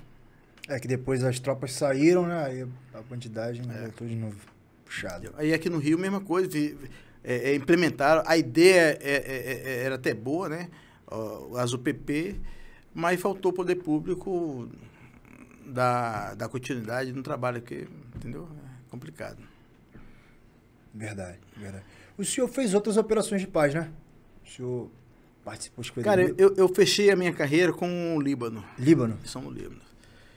Dizem que no Líbano É, ma- mas, estava quebrando. não, mas o que acontece? A nossa missão, como era missão marítima, a gente não tinha, a gente não ia pro, pro terreno, né? Não desembarcava. Desembarcava. Era missão, era patrulha é, só no mar. Eu fui para a última missão. Então, no ter, no, na explosão lá do Porto, a gente estava lá. Em nessa 2010, última nessa última, é, isso. Então, minha missão foi de. Era para ser um ano, ela passou a nove meses, né? Porque era para sair em, de, em janeiro, nós só saímos dia 8 de março. Que para mim foi, foi para a gente foi, foi, foi, foi, foi tranquilo. Né? E voltamos em dezembro. Uhum. Então a missão acabou com a gente. Não é que a missão acabou, a missão continua lá. Mas a Marinha saiu nesse, é, nessa, em 2010, 2020. O que, que, eu trago de experiência dali, cara? A vida embarcado. Viu? A vida do fuzileiro embarcado é, é uma vida. É um, não vou falar que é uma vida. Para a gente que, que, que, vive em terra é difícil, a gente tem que se, que se, adaptar. se adaptar, né? Mas foi uma experiência que eu vou levar para o resto da vida. Eu nunca imaginava fazer uma missão dessa eu fui designado na última hora que fui de, designado. E graças a Deus deu tudo certo. É, Deus abençoou para que nesse dia da, da, explosão nós tínhamos acabado de sair do porto. O navio estava a mais ou menos 300, 400 metros do, do ponto de, de, de, impacto, né? Impacto da explosão. Uhum. E quando, naquele dia, se nós estivéssemos no porto, nós teríamos vários problemas de baixa real. Entendeu? Nós só tínhamos um navio no porto, que era o navio da, da, da Indonésia. Nós tínhamos ali cinco países, seis com, com, com o Brasil. Nós tínhamos Alemanha, Grécia, Turquia, Indonésia, Bangladesh e Brasil. Uhum. Então, era três navios de serviço no mar e três navios no porto, é, no repouso. Atracado. Né? Atracado. Então, no porto do, do, do Líbano ficava é, Brasil, Bangladesh e Indonésia. O, a Alemanha tinha uma base particular, a Grécia ia para a Grécia, que é ali perto, a Turquia ia para a Turquia, que é ali perto. Então, no dia da explosão, o Bangladesh estava de serviço e nós tínhamos acabado de, de assumir o serviço. Nós estávamos rendendo um, um daqueles países que ou era a Alemanha ou era, ou era a Grécia. E o único que ficou lá no porto foi a Indonésia que sofreu os danos Sofreu. irreparáveis. Né? Tanto é que o navio saiu de lá rebocado porque não teve condições de se voltar navegando. Eu, graças a Deus não morreu ninguém, mas tiveram o, vários Foi problemas. um atentado a explosão? O, o, o, ainda não foi o, o, laudo que saiu, ele não, ele, ele não foi conclusivo como, como atentado, como uhum. acidente, entendeu? Tanto é que os administradores do porto foram, foram exonerados porque tava, tava, eles é, não era de conhecimento dele, segundo falou, eles é, reportaram a época lá no jornal, que não tinha conhecimento da quantidade de. Não era explosivo que estava. De nitrato de amônia que estava ali armazenado. Uhum. E aquele, é, aquele nitrato de amônia ali estava mais de. Era, se não me engano, era desde 2014 que estava ali. Ou seja, teve um navio desse aí que, que foi para lá. A informação que tem é que foi apreendido esse navio e a carga foi colocado armazenada lá. armazenado lá até o processo sair. O navio está até hoje lá, esse tempo todo, porque é, é, é, a tripulação, os donos do navio não teve condições de pagar a diária, né? Que eles pagam, o navio quando, quando atraca ali, e vai pagando diária, pô. Entendeu? De porto, né? É, chega um momento que já está mais caro é, que o próprio navio. Chega um momento que o que aconteceu com a tripulação? O país, olha, o, o, a empresa que é do navio, olha, deixa o navio para lá porque não tem condições de, de, de, de, pagar, de bancar o tem esse tempo todo. E a carga foi ficando lá, ninguém tomou conhecimento e aconteceu o acidente que aconteceu. Caraca. Entendeu? Puxado. Então foi, foi, foi puxado. O negócio foi complicado mesmo. Graças a Deus, nós estávamos também com o problema da, da pandemia, né? Até então nós não tínhamos caso zero de pandemia a bordo. Depois da explosão, o navio ele, ele é obrigado a parar para fazer manutenção, né? Chegamos lá em, em abril, quando foi em setembro, o navio parou. Aí começou o surto de, de, de, de Covid no navio. Porque aí quem faz, quem faz a manutenção é o paisano que vem fazer aquele negócio todo, né? não é só o nosso pessoal. Então a gente acredita que o vírus entrou pela manutenção. Pela manutenção de serviço. Como é isso? Aí deve ter sido terrível, né? O quê? Porque vocês embarcados e surto de Covid lá dentro. Nós, nós tivemos 80% da tripulação pegou Covid, Contaminada. né? Contaminada. Isso. Eu estava entre os 20%. Que não, que, que não, que não pegou, pegou, graças a Deus. É. Não, e eu. É, Caveira, Não, caveira não, é- pega, não. Pô, eu era o único Comanf da, da- da- do Oriente Médio. Pô. então fizeram muita É, guerra com fizeram muita guerra comigo. Caraca, Comanf, porra, Comanf é... Eu falei, pô, cara... Eu sou nem gripe, É, eu falei assim, eu falei, pô, sou o único Comanf, eu sou o único Comanf do Oriente Médio, pô. Não posso pegar. Isso Mas em compensação, eu fiquei um mês de quarentena. É, Por porque- quê? Porque um dos primeiros casos, o segundo caso de Covid do navio, ele era um suboficial que morava no meu, no meu camarote. Então, por tabela, quem mora no mesmo camarote ele é obrigado a ir para ficar em quarentena. Então, a quarentena era na base da ONU, que ficava no, no chão, né? Já quase na fronteira com, com Israel. E todo mundo ia para lá. Então tinha a área dos, do- dos positivados e a área dos, dos negativados, né? Então eu ficava na área do- dos negativados. Uhum. Então a, a, a regra era 14 dias para o pessoal que tá- teve contato e 10 dias para quem teve Efetivamente. estava com o vírus. Isso, o vírus. Então, é, nesse daí, com 10 dias, esse guerreiro, ele fez o teste, deu negativo e voltou pro navio. E eu tive que cumprir os 14 dias. Fiquei lá os 14 dias. Quando foi fazer o teste, o meu deu negativo de novo. Mas o cara que estava comigo deu positivo. Caraca. Aí eu dobrei, dobrei o, o- a permanência e esse camarada ele saiu do negativado e foi pro, pro, pro, positivos. E eu, eu quase recebo um prêmio, que no final eles dão um prêmio, né? O cara que ficou mais tempo É. é, de quarentena, eu acho que fiquei, eu acho que foi o 03 nessa porra. Caraca. Teve, teve, teve cara que ficou mais tempo do que eu. Mas esse tempo todo eu fui negativado. Ainda Quando chegou no navio, voltei pro navio tal. A situação já tinha, já estava já estava quase estabilizada já, era caso um ou dois casos no navio. E eu pedi pro comandante, comandante, eu quero fazer o exame de sangue. Que até então era só o cotonete, né? Só que a ONU não pagava, a ONU não estava pagando. Não, eu pago no meu bolso, porque eu quero saber se eu tive ou não, pô. Aí eu como, não, não vou, no- a ONU não vai autorizar, beleza. Só que o comandante insistiu, fez um... Não é que ele insistiu, ele viu a necessidade do pessoal, a ONU pegou, se sensibilizou e pagou Um exame de sangue. para os 20%, né? Aham. E mais o pessoal que, que, que, que já teve, que queria, para completar aquela taxa de, de efetivo. Uhum. Aí, graças a Deus, meu, meu, meu, exame deu, também deu negativo. E o médico falou assim, ó, camarada, em algum momento da tua vida aí você pegou Covid e não, não, teve, não teve nenhum sintoma. Eu falei, porra, excelente. Na marca. Pô, na marca. E, e o interessante é que, por exemplo, eu, eu saí, acabei de sair agora de um, de, uma, de um resfriado, né? E o meu resfriado, cara, ele dura sete dias. É dois dias de, de com, com obstrução aqui e, e quatro, cinco dias de tosse, né? É, é batata. Aí eu cheguei assim, caramba, porra, eu vou ter que falar com o médico, porque quando começar a ter essa crise aqui no navio, vão achar que é Covid e vão me isolar. Eu cheguei para doutor, doutor, eu quero falar com a senhora. O que, que foi? Olha, todo ano eu tenho uma crise. Aí eu até falei assim, ó, entre agosto e setembro. Já até sabe a já sei. E, pô, é, é, não, ô Comanf, vai relaxar, Comanf. Tá, beleza, tá safo, beleza. Graças a Deus não tive essa crise. Não tive essa crise, pô. E voltei tranquilo, pô, graças a Deus, deu, deu, deu tudo certo. E Deus, Deus foi muito bom com a gente, cara, porque pelas, ah, pelo, pelos problemas que nós tivemos, tanto do Covid, pô, a gente não voltar com nenhuma baixa real, cara. Verdade. Entendeu? Porque nós estávamos na- naquela fase de morrendo gente pra caramba. A gente não tinha vacina, a gente tinha lá só o que o médico passava, que era o nosso, um kit de Covid, né? Que deu tudo certo. Todo mundo se safou. E, pô, e, e- e- e fora isso aí, teve a explosão, que graças a Deus no, no, no ati- o navio. Tanto é, olha só, nós estávamos a, a, a 18 quilômetros da, da, da, da costa e o navio adernou com- com- com Por causa do efeito, efeito da explosão. da explosão. Caraca, mano. Então foi um negócio sinistro, cara. Foi uma Foi uma coisa explosão sinistra. sinistra mesmo. Teve baixas no, no- naquele outro navio? Não, só teve só ferimentos, né? Só ferimentos, e, e- e- e o navio foi. saiu rebocado. Ele não teve condições de navegar mais, não. É, Veio outro navio buscar ele, um rebocador, levou ele, eh, levou ele embora. desse-? A tripulação toda foi, foi, foi, foi retraída também.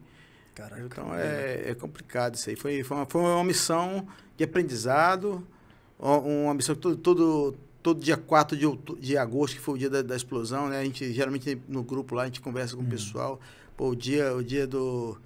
que, que, que a gente foi abençoado, né? Porque a gente podia ter voltado, alguém podia ter voltado no saco preto, mas graças a Deus deu tudo certo. Verdade. Entendeu? É, o senhor fez alguma missão aqui no Brasil que o senhor queria ressaltar aí? Uma missão? Maré, pô. A Maré. A Maré. A Maré, eu comandei um Grucanf Maré. Eu, o que aconteceu ali? Era, tu tava onde no, no, no, no 7x1 da Copa? Cara, nem lembro. Eu tava de pau na Maré. Tava de serviço. Tava de serviço na Maré. O que aconteceu? Na Maré, é ano de Copa, né? Então o batalhão todo foi mobilizado para a Copa. Então tinha cada Grucanf, tinha a equipe com os anfíbios é, em várias regionais desse daí, para dar suporte. Onde tinha jogo, tinha uma, uma equipe um Grucanf de comandos anfíbios. E estourou maré. Os nossos oficiais estavam todos empenhados, eu era suboficial modo do batalhão, até então eu ia ficar a bordo normal. Aí o comandante me chamou e, Gleison, olha, eu preciso que você comande um grupo Campo Maré por 15 dias até chegar um oficial de férias. Aí eu, não, perfeito. Aí ele falou, só tem um porém, todos os comandantes dos anfíbios estão empregados aí, nós, o que nós temos aqui é pouco. Eu falei, não, tá bom, não tem outra missão, não tem, não tem o que fazer, vamos lá. Então era eu e mais quatro sargentos, comandos anfíbios. E tinha acabado de chegar, se não me engano, uns 10 cabos e soldados do CIASC cabos recém. OPESP o... ou peito? Não, era, tinha uns dois ou três OPESP e o restante era tudo é, é não especializado, entendeu? E os pessoal falou, passavam por mim assim, porra, eu subi, tá ferrado, hein? E a, a, a, até então, a favela estava tomando uma proporção, a, Operação Maré estava tomando uma proporção é, complicada, né?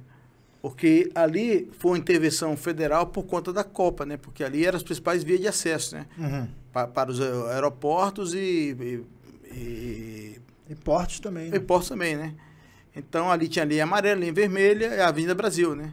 Então, houve aquela intervenção comandada pelo, pelo general do, dos Estrelas e a Marinha tomou conta ali de um lado e o Exército tomou conta de outro. Mas é, o Exército comandava, o general comandava as duas frações, né? Beleza. Qual foi o fator positivo nisso aí? Que o, o, os militares não especializados, nós adestramos da forma que nós gostaríamos que fosse. Então eles não tinham visto nenhum. Então, nós colocamos, fizemos adestramento com eles, os caras entenderam a mensagem. Não tive um problema com esse pessoal. Hoje todos eles são comandos anfíbios. Que legal. Pô, bacana, isso aí isso foi, foi muito bacana. Deve ter sido até um fator motivacional aí para eles realizarem o curso. Isso, né? isso. Eu, se não me engano, só tinha dois comandos anfíbios só. Então, esse é, é, é, esse é um fator que eu, que eu, que eu chamo a atenção, porque a gente estava. É, é, é, nós fomos para uma operação que a gente sabia que era complicada e que nós tínhamos que cumprir aquilo ali. Então nós tínhamos a infantaria toda, a infantaria em peso, e nós tínhamos um destacamento do Grucamp nosso, nós éramos 18, só que nós estávamos atuando como 12. 12 é campo somente, por, por conta de pessoal, que a maioria estava todo mundo empregado na, por conta da, da Copa. Né? Uhum. Então nós tínhamos ali duas viaturas, a gente tinha, ainda não tinha ainda tudo amparado, porque todo amparato principal, em termos de armamento, teve de material de primeira linha foi para as da equipes Copa, da, Copa. da, Copa. Então nós fomos com o que restava no batalhão. E graças a Deus deu tudo certo. A gente estava com colete apropriado, com capacete apropriado. O nosso armamento ainda estava ainda, alguns armamentos que estavam é, é, sem luneta, que negócio, nós conseguimos, o comando conseguiu, e foi todo mundo equipado para lá, entendeu? Então, é, lições aprendidas nisso aí. A gente conseguiu é, preparar uma equipe a curto prazo, só tinha 15 dias para isso. Eu acabei ficando três meses. Caraca. Na maré. Fui para ficar 15 dias, fiquei de três 15 meses. 15 dias passou três meses. Porque o oficial chegou, uhum. ele chegou de férias, que negócio todo e tal, e, e a gente fazia um revezamento, né? Quando e, e, a, cada, a cada, se não me engano, a cada, a cada sete dias era três dias em casa, isso geral. Então a gente estava cumprindo isso. Só que alguém precisava revezar com ele. Acabei o comando me chamou, pô, Gleice, segura, não, tá tranquilo. E assim foi, foi ficando. Entendeu? Então, mas foi bom. Foi bom porque é, é, é, o pessoal que quer, que é, nós, nós fuzileiros, nós temos essa capacidade de, a grande maioria do fuzileiro operacional, o, eu, eu vou colocar todo fuzileiro como operacional, que o que está muito quieto chega a bater um marasmo. A gente procura, a gente precisa ser movimentado. A adrenalina nossa tem que estar em constante movimento. Então, quando, principalmente nós de operações especiais, a gente precisa estar em atividade, porque a gente quer colocar em prática aquilo que nós, aprendemos no Comanf. Então, quando não tinha nada para fazer, eu ia lá no, no, no comando, ó, vou fazer uma patrulha. Então, a gente ia fazer uma patrulha porque isso a gente estava tava nos adestrando, uhum. A maior aula que nós tivemos foi no Haiti. A maior escola que nós tivemos prática foi no Haiti. Então, quando veio para a Maré, já estava muito, a gente já estava mais tranquilo, né? Hum. Tivemos um combate real lá e voltamos para a Maré para fazer patrulha. E nós tivemos êxito porque é aquilo que a gente gosta de fazer. Uhum. A gente não quer tempos fáceis, né? É, períodos tranquilos demais, dá, dá, cai no marasmo, a gente começa a perder o poder de combate. Entendeu? Então, o fuzileiro tem que estar em atividade sempre. Atividade sempre. Verdade. Então, é, no 7x1 eu tava de pau, pô. 7x1 tava de pau. A, a, missão do Grucanf, né, do, dos Operações Especiais, na Maré, era, era o quê? Vamos lá. Que a diferenciava ali é, Vamos lá. A infantaria, ela, ela, fazia, ela fazia bloqueios em determinadas posições, é certo? Pré-block, né? Isso, pré-block ali com, com, com blindados. E a, a, outros militares da infantaria faziam patrulhas em determinados pontos. E nós, da ICANF, a gente ia ou para estourar uma informação que chegava de carregamento ou, ou algum, algum informe que nós tínhamos para fazer, pra fazer é, é, é, é, uma ação imediata, entendeu? Ou até mesmo para a gente fazer um reconhecimento diário, a gente sair em patrulha a pé, é, isolado da infantaria, que a gente fazia um patrulha é, separado, para fazer levantamento de área, certo? Mas o papel principal nosso ali era para fazer uma ação cirúrgica. Pontual. Pontual, entendeu? É, mas Conseguiram só... aprender armamentos? Prendemos, nós prendemos o, o 02 da cadeia de comando lá do, do da, da, Maré. Prendemos 50 quilos de, de, de cocaína pura. É... Nós tivemos ali... Eu tive um caso particular com com, com, com, a, com a PM, porque a PM prendeu dois, dois sargentos nossos em operação, entendeu? E isso rolou até um, um, uma, é, uma retratação a mim. A Major chegou para mim para se retratar. Então, mas tudo isso, a gente estava dentro da legalidade, cumprindo ordem dentro, dentro, dentro da, da, da, da legalidade. E essa policial achou, achou que não, ela, ela era oficial. E ela, ela, eu tinha deixado uma equipe nossa em determinado ponto para fazer uma observação de um, um possível carregamento para chegar. E eu deixei lá três militares, dois comandos anfíbios e um comando anfíbio. E nós, os caras estavam atrapados, os caras estavam com armamento, estavam com Park Hill, estavam com fuzil de precisão, com, com M16, estavam com, com SD6, estavam com pistola, com a visão do turno, os caras não estavam prontos para em condições de. E, e só que ele. É, o único local que eu podia colocar meu pessoal era fora da, do Complexo Amaré. Era no Caju, que estava fora da área operacional. Só que eu fui para lá autorizado. Eu pedi permissão, o general autorizou, o meu comandante autorizou, o general autorizou, o dono da empresa lá que eu, que eu ocupei autorizou, então estava tudo amarrado. Só que quando eu cheguei para ocupar a posição, tinha uma viatura da polícia próximo uhum. dessa empresa. O cara viu a gente entrando na, na empresa, e ele viu a gente saindo, entrando com, com X e saindo menos X. Foi a única, a única informação, a única lógica que eu encontrei para isso. Porque em nenhum momento ele abordou, abordou a gente. Vocês estavam uniformizados? Tava, não, tava, tava, tava em viatura, a gente estava de, de Land Rover, tava, tava, tava tudo oficializado. Aí voltei para a base. Nessa volta, volta para a base, eu fui seguido por uma viatura descaracterizada. Eu não, à noite eu não estava percebendo. Eu desci pela, pela, pelo Caju. Quando entrei na minha, fui entrar na minha base, a viatura parou para descer para entrar, então tinha um portão principal. E essa viatura descaracterizada parou lá perto da Avenida Brasil. A comandante lá desceu com uma pistola na mão, querendo falar com o mais antigo, querendo falar mais antigo, que negócio todo e tal. E eu.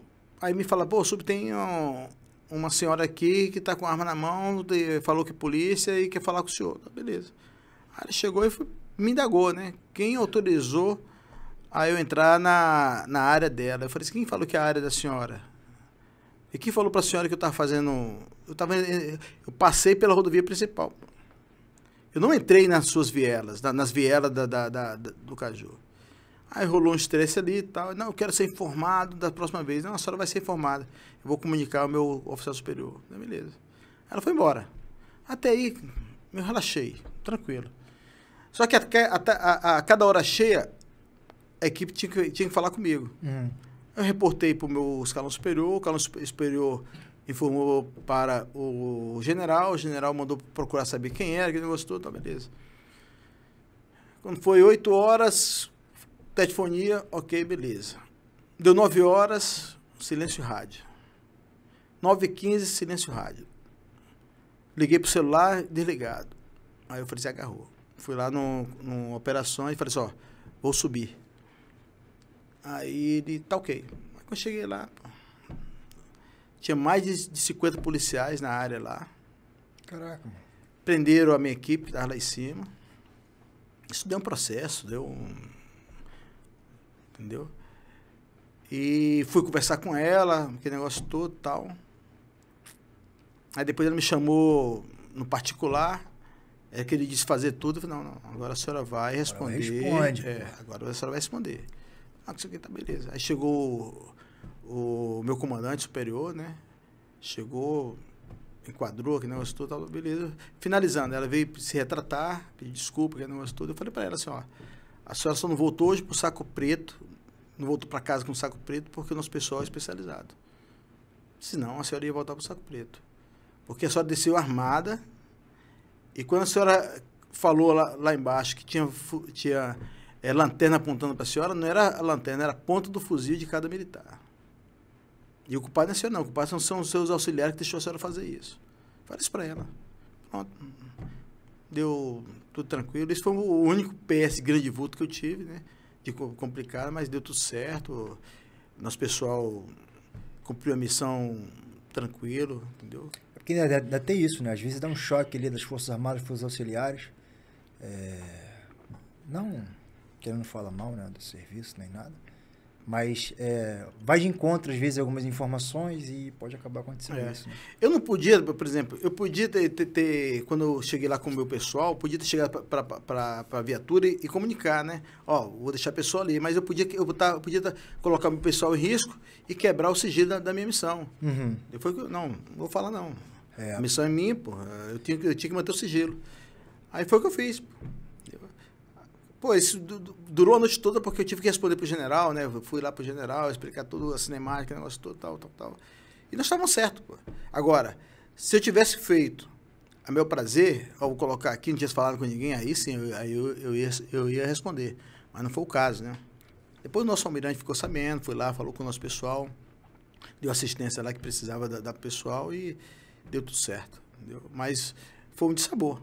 Verdade. Eu fui de sabor, nosso militar ficou muito chateado, ficou puto com toda a razão, né? Uhum. E pronto. Aí negócio, graças a Deus, tudo certo. Ainda bem. É. Saindo um pouco da, da área operacional, né? Você tem várias histórias interessantes na área operacional. Mas eu queria saber também como é que foi ali a função como suboficial MOR. O senhor trabalhou duas vezes nessa função, tanto no Batalhão de Operações Especiais quanto no Comando Geral, né? Certo. E foi um dos primeiros suboficiais mor a, a, no CFN. Como é que foi isso? Vamos lá, cara. Foi um. É, é, é, eu, eu era agente de operações no batalhão, hum. entendeu? Então, eu, eu. Não é que eu tive a carreira brilhante. O que, a gente diz com carreira brilhante? É o cara que foi primeiro colocado no curso, é o cara que foi, passou na primeira prova. é, eu ia, fazer essa guerra pro senhor, porque 0-1 no, no, é, no, no, curso de soldado, 0-1 um no comando dos anfíbios. Não, aí, aí o que acontece? Mas é, é, é geralmente é o primeiro coloca, é, é, o, é o cara que passou na primeira prova de cabo, primeira prova de sargento, no QA, então esse cara é um cara, cara carreira brilhante. Eu posso dizer que eu tive uma carreira bem sucedida, uhum. diferente. Porque tudo que eu, que eu, que eu procurei fazer, eu procurei se, estar comprometido com aquela função que, que, que me foi confiada. Isso foi desde quando eu, Isso tudo começou no SEAB, cara. Acho que foi a maior escola que eu tive. Entendeu? Porque você vai com aquela gama operacional, com aquela, com aquela vibração operacional na tua cabeça. Quando você pega, é por isso que eu estou te falando, quando você muda de ambiente operacional e vai, vai para um outro AM, você começa a se lapidar. Porra, eu tenho que pensar um pouco mais. Então, eu lembro uma vez, só voltando aqui a, a fita aqui, eu quando eu fui, fui da primeira guarnição do SEAB. Quando fui para Brasília, lá não era, era uma companhia do grupamento de, de Brasília. Uhum. Então nós fomos a primeira guarnição o primeiro comandante foi o comando anfíbio. O comandante Mário Márcio, que me, me brevetou no, no, no, batalhão. Ele uhum. foi ele que deu, me brevetou no, no batalhão.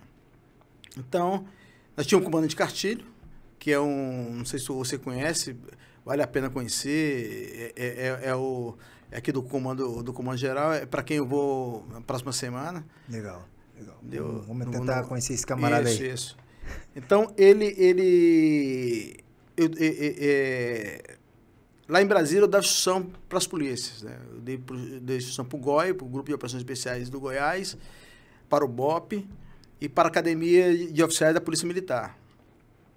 Então, isso mim era novo, mas eu tinha que ter uma gama de conhecimento, aquele negócio que eu estou te falando eu era um comando anfíbio ali, eu tinha a obrigação de saber. Então, quando, quando eu recebi a, a, a, a eu fui dar instrução para o BOP de Brasília, isso em 90, 90, 98. Eu, eu, o comandante autorizou, que negócio todo, veio todo o trâmite normal, só que eu fazia minha programação, fazia meu DSA. Aí o comandante me chamou, porque era novo para ele também, e nós estávamos na área de marinha com outra tropa. Então ele chegou para mim, Gleice, qual a tua ideia de manobra? Eu não vou fazer isso, isso, isso, isso, isso, isso. Tá, e se o aluno não corresponder? Água. Aquele negócio de comanf, né? Aquela toda. Aí ele fala assim, com qual propósito? Aí fiquei em xeque. Foi aí que eu aprendi. Tudo na vida é um propósito. Quero mandar um aluno fazer uma coisa? Por que, tu tá mandando ele, ele para água? Ah, porque eu quero. Porque eh, algum tempo atrás era assim, né? Porque eu quero, não eu quero que ele vá para a água, isso. Quero Marins. É, eu quero Marins. aí foi aí que eu falei assim, cara, eu tenho que colocar propósito em tudo. Ele falou assim, Gleice, aprende uma coisa, tudo é propósito. Você pode desligar o aluno que você quiser sem tocar nele. Se o aluno for fraco em determinada coisa, você, a gente não pode matar o aluno para ir embora. Mas tem, existem ferramentas que você pode fazer que o aluno mesmo ele vai lá e pede para ir embora. Uhum. Entendeu? foi aí que eu, foi o meu, o meu divisor de águas, né? Então, tudo que eu peguei, na, que, que, as minhas atribuições, eu fui duas vezes o, o, é, é, o melhor instrutor lá do SEAB, aí voltei para o Rio de Janeiro em 2010, o imediato era o comandante Castilho, 2002, aliás, voltei para o batalhão, e o CIOP era uma, é, é, com a saída do Comanf para, para o, o, CIASC, ele levou praticamente o DECOP, o, o, o CIOP para lá. Então o batalhão ficou sem uma sessão de instrução de operações especiais. Eu voltei para o GER em 2002 e 2000, no final de 2002 o comandante me chamou, Gleice, o, queria que você ativasse o CIOP. Eu falei, tô, quero voltar à atividade. Não, você não entendeu. Vamos ativar o, CIOP. Beleza. E, e reativei o CIOP. Então botei o CIOP da forma que eu gostaria que fosse. Então daí você, você começa a trabalhar, passei 10 anos na função. O Comafim, eu é, é, coube a mim escrever, fazer o, o currículo e o projeto específico do Comafim, para transformar ele em curso, em estágio, porque na época o, era um adestramento, uhum. e esse adestramento não dava pontuação para o soldado. E naquela época o soldado precisava de ponto para ir cursar. E o soldado ele pontuava em curso no, no curso de motorista que fazia dava um ponto. O curso de, de, de, de tinha outros cursos que, que, sei, que, é isso. Mas o Comafim não dava. É, mas para o Comafim dar ponto ele tinha que mudar a categoria de adestramento para estágio de qualificação. E eu tinha um dia para fazer isso aí porque foi assim ó Gleison, tem que, a semana que vem eu vou apresentar lá no comando no, no CPES a, essa mudança e preciso disso aí. Memória fiz, passei a noite toda fazendo. Já tinha uma bagagem já. né? Isso. Não foi um dia, foi uma vida É. inteira. Você só transferiu a bagagem em um dia Eu, eu eu- eu- tinha a base ali que é do Comanf, né? Aham. Eu comecei a tirar o que, o, que era essencial ali, é, demais, e, e enxuguei. Eu tive que apresentar um currículo com uma carga menor. E foi. Hoje em dia, hoje, lapidaram aquilo dali, tiraram muita coisa e fizeram um currículo bem mais decente. E as coisas fo- foram fluindo. Eu fui o primeiro comandante do pelotão de, de- de apoio, que hoje é uma companhia. Eu fui, fui encarregado do curso de operações especiais, a primeira praça que fui encarregado do curso, que eh, geralmente é, é- é oficial. E 2013 eu fui, fui para adjunto de operações. 2013 meu comandante me ligou, estava de férias em, em em Fortaleza, e eu estava concorrendo para ir para Bolívia, Uhum. para ser instrutor do Comanf na Da Bo- Bolívia. da Bolívia. Da Bolívia. Só que é o seguinte, meu espanhol era, naquela época, era fraco, né? Eu não tinha ainda ido para o Paraguai, eu estava tava muito fraco ainda. E eu sou do tipo militar o seguinte, quando eu tenho dúvida em alguma coisa, e essa dúvida é 0,01, eu paro e começo do zero, porque eu não posso ter dúvida. Como é que eu ia para Bolívia para dar um curso, ministrar um, aulas, se eu mal falava O espanhol. espanhol. E tinha outro colega meu, eu era, eu era mais pontuado no negócio todo, e outro colega meu era menos pontuado, mas ele, o, o espanhol dele estava lá em cima. Uhum. Falei, cara. Aí o comandante ligou para mim e disse: olha, é, recebi uma ligação do almirante da, da FFE, e o batalhão foi designado para iniciar o projeto Sargento Major. Não era nem suboficial maior, a gente não tinha esse conhecimento. E fiz uma reunião com os oficiais, é, videoconferência com os oficiais, né? E você foi selecionado para ser o. Sargento Mason. É, eu tô, tô te dando esse convite aí, mas você vai para casa e pensa lá entre a Bolívia e, e esse projeto. Eu, não, eu quero esse projeto. Porque eu sabia da minha limitação. Uhum. Não adianta eu ser, pensar no, no dólar. Eu sabia, eu tinha que ser profissional nesse momento. Então, tanto é que foi esse, esse outro suboficial. Ricardo, pô, um alto padrão militar. E assim aconteceu. Quando o comandante chegou, ó, vamos começar. Eu não sabia de nada, não tinha conhecimento de nada, não sabia nem por onde começar isso aí. Eu entrei em contato com os Estados Unidos, com um colega nosso que estava lá na Escola das Américas, ele me passou com o que, que faz um, um sargento major lá. Só que eu, eu, eu não poderia tentar fazer um comparativo com o americano, porque a gente não tem cultura para isso. Uhum. Eu tinha que. E, e- e o, o propósito era esse: era convencer a autoridade que o suboficial mor é, é, é, tinha, tinha como emplacar, tinha como configurar, tinha como conquistar o terreno. Uhum. E eu não sabia por onde começar. Por que eu não sabia por onde começar? Porque eu não tinha referência nenhuma. Então começou com eu pelo, pelo Batalhão de Operações Especiais e um suboficial pela fragata, pela fragata Independência. Aí até então, O senhor foi o primeiro do CFN? da Força Fuzileiro. Ah, da Força, Força. Da Força Fuzileiro. E teve um do, do, é, é do Comanche que era esse do, do navio, Aham. certo? E até então, eu não tinha conhecimento, a Força Fuzileira não tinha conhecimento que lá no Comando Geral já tinha um suboficial, que era o, o, o Blanc, né, que eu, que eu te falei, que ele, que, ele, que ele iniciou lá com os estudos, acompanhou as reuniões, aquilo e tudo, e ele tinha sido nomeado lá no Comando Geral. A gente não tinha esse conhecimento. Só que ele sabia lá que era o projeto Mor. E lá no batalhão, a gente estava com o projeto Sargento Major e na fragata com o pro- projeto Sargento Master Chief, que é, que é, que é, que é, que é a designação da, da, da Marinha Americana, né? Beleza. Até que é, o negócio foi fluindo, eu, não, eu, eu, eu precisava, eu precisava ganhar a confiança da tropa, a tropa não podia me ver como secretário do comandante, ou muito menos como, como ali, como um ajudante de ordem do comandante. Eu tinha que ser praça, tipo, tinha que continuar praça. Mas uma coisa que foi fundamental, eu não podia mudar as minhas características. Eu tinha que ser eu mesmo, Uhum. O suboficial Gleison, que frequentava o, o, o salão de recreio, que frequentava o nosso rancho, que, que sabia a- da, da dificuldade do batalhão, e eu mantive isso aí.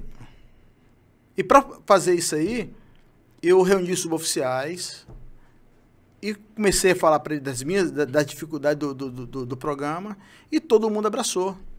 Uhum. Todo mundo entendeu. Eu passei a dar responsabilidade para cada suboficial, além da, da, da, responsabilidade que ele tinha, e começamos a trabalhar em conjunto. Cheguei para o imediato, pedi para imediato, divide as tuas, tuas folhas comigo. Eu tinha que demonstrar serviço, uhum. porque eu não tinha por onde começar. Eu falei assim, ó, a partir de agora as instalações é nossa das praças, isso só alimenta a gente com, com o que tem que fazer. Porque o imediato é um administrador. Pô, ele, não, ele, não, tem que estar preocupado com, com o alojamento que está lá embaixo. Quem está tá preocupado é quem, quem, quem, quem, quem, usa, né? Quem é encarregado, né? E, não, o encarregado, ele está praticamente é, é, empenhado em, em manter o ambiente organizado. Uhum. Mas quem tem que cuidar somos nós, somos os usuários. Entendi. Então, essa mentalidade eu passei para a tropa. E a tropa entendeu isso aí. Só que a gente era avaliado pela diretoria de ensino. Tinha uma comissão que avaliava a gente. Então foi, foi um, uma oficial lá, eu fiz a apresentação e o negócio foi ganhando força. Aí surgiu o curso. Aí nesse meu tempo, esse suboficial já tinha ido para a reserva. Aí assumiu um outro suboficial, que eu fui o suboficial Leitão, e lá no CIAS, foi o suboficial Cavalcante. Aí nós fomos o, a, Primeira turma pioneira, nós éramos quatro. Três fuzileiros e um da Armada. Fizemos o curso preparatório, né? De suboficial maior. E a coisa foi fluindo, ainda meio tímido ainda, porque a gente não tinha ainda... É, tinha, tinha, tinha, a tropa ainda não conhecia. Só quem conhecia era o toneleiro, a fragata de dependência, o CIASC e o comando geral. Aí depois surgiu o CIAMPA e surgiu a Escola Naval. Aí começou a ganhar um, um, uma, um, uma, uma, uma posição notória para os alunos, tanto uhum. os alunos oficiais quanto os alunos fuzileiros. Fuzileiros. Então é. a gente começou a, a, disseminar a ideia de manobra. Entendeu? Isso aí. E, e a, aos poucos. A administração naval entendeu a necessidade dessa função, e né? Demorou um pouco, entendeu? Mas porque precisava, precisava dessa demora, porque talvez se fosse mais rápido, talvez teria atropelado o, a sequência lógica, que era o convencimento. Uhum. Se a gente fosse dar um passo maior do que as, as pernas, poderia que hoje talvez não tivesse no patamar que nós estamos. Uhum. Daí surgiu o adjunto de comando do Exército. 2000 e, 2014, é, nós recebemos uma ligação lá no Toneleiro, um coronel do Exército, comandante de um batalhão desse lá em, em Cascavel, que soube que nós tínhamos implementado a figura do, do, do suboficial mor, que era similar ao sargento Mejo, e queria informações. E o comandante, à época, pediu para que eles designassem o subtenente, que foi designado por ele, né, para conversar comigo. A gente conversou, passei todas as informações para eles, e eles iniciaram o projeto é, Ajuda de Comando. Daí em diante veio o Aeronáutica, que o graduado Márcio. Ou seja, nós fomos o pioneiro. Que legal. Fomos o pioneiro e as duas forças entraram. Então, tá bem. Hoje nós estamos muito bem. Hoje o Corpo Fuzileiro, principalmente o Corpo Fuzileiro, está muito bem, entendeu? A tropa assimilou, a oficialidade entendeu que é uma ferramenta de comando que melhora o, o aspecto, porque quem conhece a praça somos nós. Verdade. Que conhece as praças somos nós, entendeu? Então, é, a vantagem que eu tive no, no, no, batalhão. Eu fui soldado no batalhão, eu fui cabo do batalhão, eu fui terceiro sargento no batalhão, eu fui segundo sargento no batalhão, fui primeiro sargento no batalhão, fui suboficial. Então, é conheço... um conhecedor de tudo, é, que, tudo. Que, todas as peculiaridades, tudo, inclusive tudo, das graduações. Exatamente. Entendeu? Então, eu tive, eu tive uma facilidade por essa bagagem, por essa bagagem, entendeu? Tinha suboficial mais do que eu tinha. Mas se você tratar todo mundo com respeito, os mais antigos vão passar a te respeitar por, por natureza, uhum. por, entendeu? Então, em nenhum momento eu deixei subir para a cabeça. Porque eu sabia que eu era, eu era ali uma ferramenta, uma representação das praças ali, que poderia melhorar o nosso aspecto e melhorou bastante. É legal o senhor falar sobre antiguidade, porque eu também acredito nisso, que o mais importante não é a antiguidade para ser critério da função de suboficial mor. Né? Tem vários atributos que vai além da antiguidade. O cara Isso. tem que ser sub para ter por ter passado e por todas as, as graduações e tal. mas não necessariamente ser o mais antigo da OM. É, o docu- nem sempre o mais antigo é o mais é, qualificado. o documento ele sugere que seja mais antigo. O documento. Quem, quem, quem apresentou essa dificuldade fomos nós. No, no, no- no- no início do projeto, nós apresentamos nas nossas reuniões que não necessariamente deveria ser o mais antigo, por conta disso, entendeu? Às vezes o mais antigo, ele não tem aquela habilidade de liderança, que é Uhum. natural. Às vezes pela especialidade do, do militar, entendeu? Então, a, a especialidade, suponhamos que, que o, o mais antigo do, do, do- um, de um batalhão ou de um grupamento seja um músico, que não está ali diretamente com a tropa. É, não opera com a É, gente. mas pelo documento ele é o mais antigo, então te- teoricamente na função ele pode, ele pode assumir. Mas será que para o batalhão, para a tropa que está vendo ali o, o- o suboficial, é, vai, ser, vai ser positivo? Eu tive a satisfação do guerreiro. Um, um- um- eu fui dar uma palestra lá no CIASC para os sargentos. E eu sempre quis fazer isso. Eu já estava no comando geral. Porque quando eu fui a sargento, Ninguém chegou para mim e falou e me disse como era, eh, como era ser sargento. Eu fui aprendendo no batalhão, que também é uma escola. Mas ninguém nunca chegou para mim e falou assim: ah, tuas responsabilidades são essas. Eu aprendi.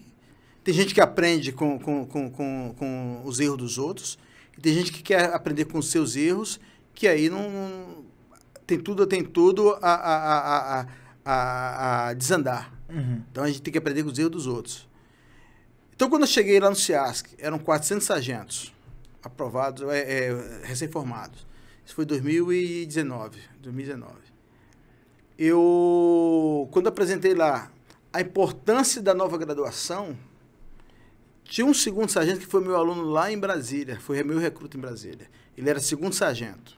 E era, ele era instrutor do corpo de aluno. Eu não sabia, né? Eu não, não conhecia, não lembrava dele. Ele chegou, porra, soube. Isso que o senhor falou aí, ninguém passou para mim, não. Pô. E era o básico, cara. Era o estatuto do- do- dos militares, tá escrito lá, pô. Uhum. É o básico. Entendeu? E, e às vezes a gente se perde nisso. Então, quando você chega num batalhão e sabe que é, dedicação exclusiva e disponibilidade permanente, dentro das, dentro das características da profissão, e essas são as que me chamam mais atenção, eu, você tem que saber, pô, Verdade. entendeu? Você tem que saber que a qualquer momento o telefone pode tocar aí, para tudo e você parte, pô. E às vezes o militar não sabe, às vezes o militar tem aquela. aquela, aquela, aquela ele acha que está tá no seu momento de lazer e não, não é, não é assim que funciona. Então está no lugar errado, Uhum. entendeu? Está no lugar errado. Então, no- no- uma das, no- tem várias características da profissão, está nos estatutos militares. A que me chama mais atenção é essa, dedicação é, exclusiva e disponibilidade permanente. Entendeu? Então, se você tiver isso na cabeça, cara, tu tem a vida, a vida tranquila. Por isso que eu tô te falando.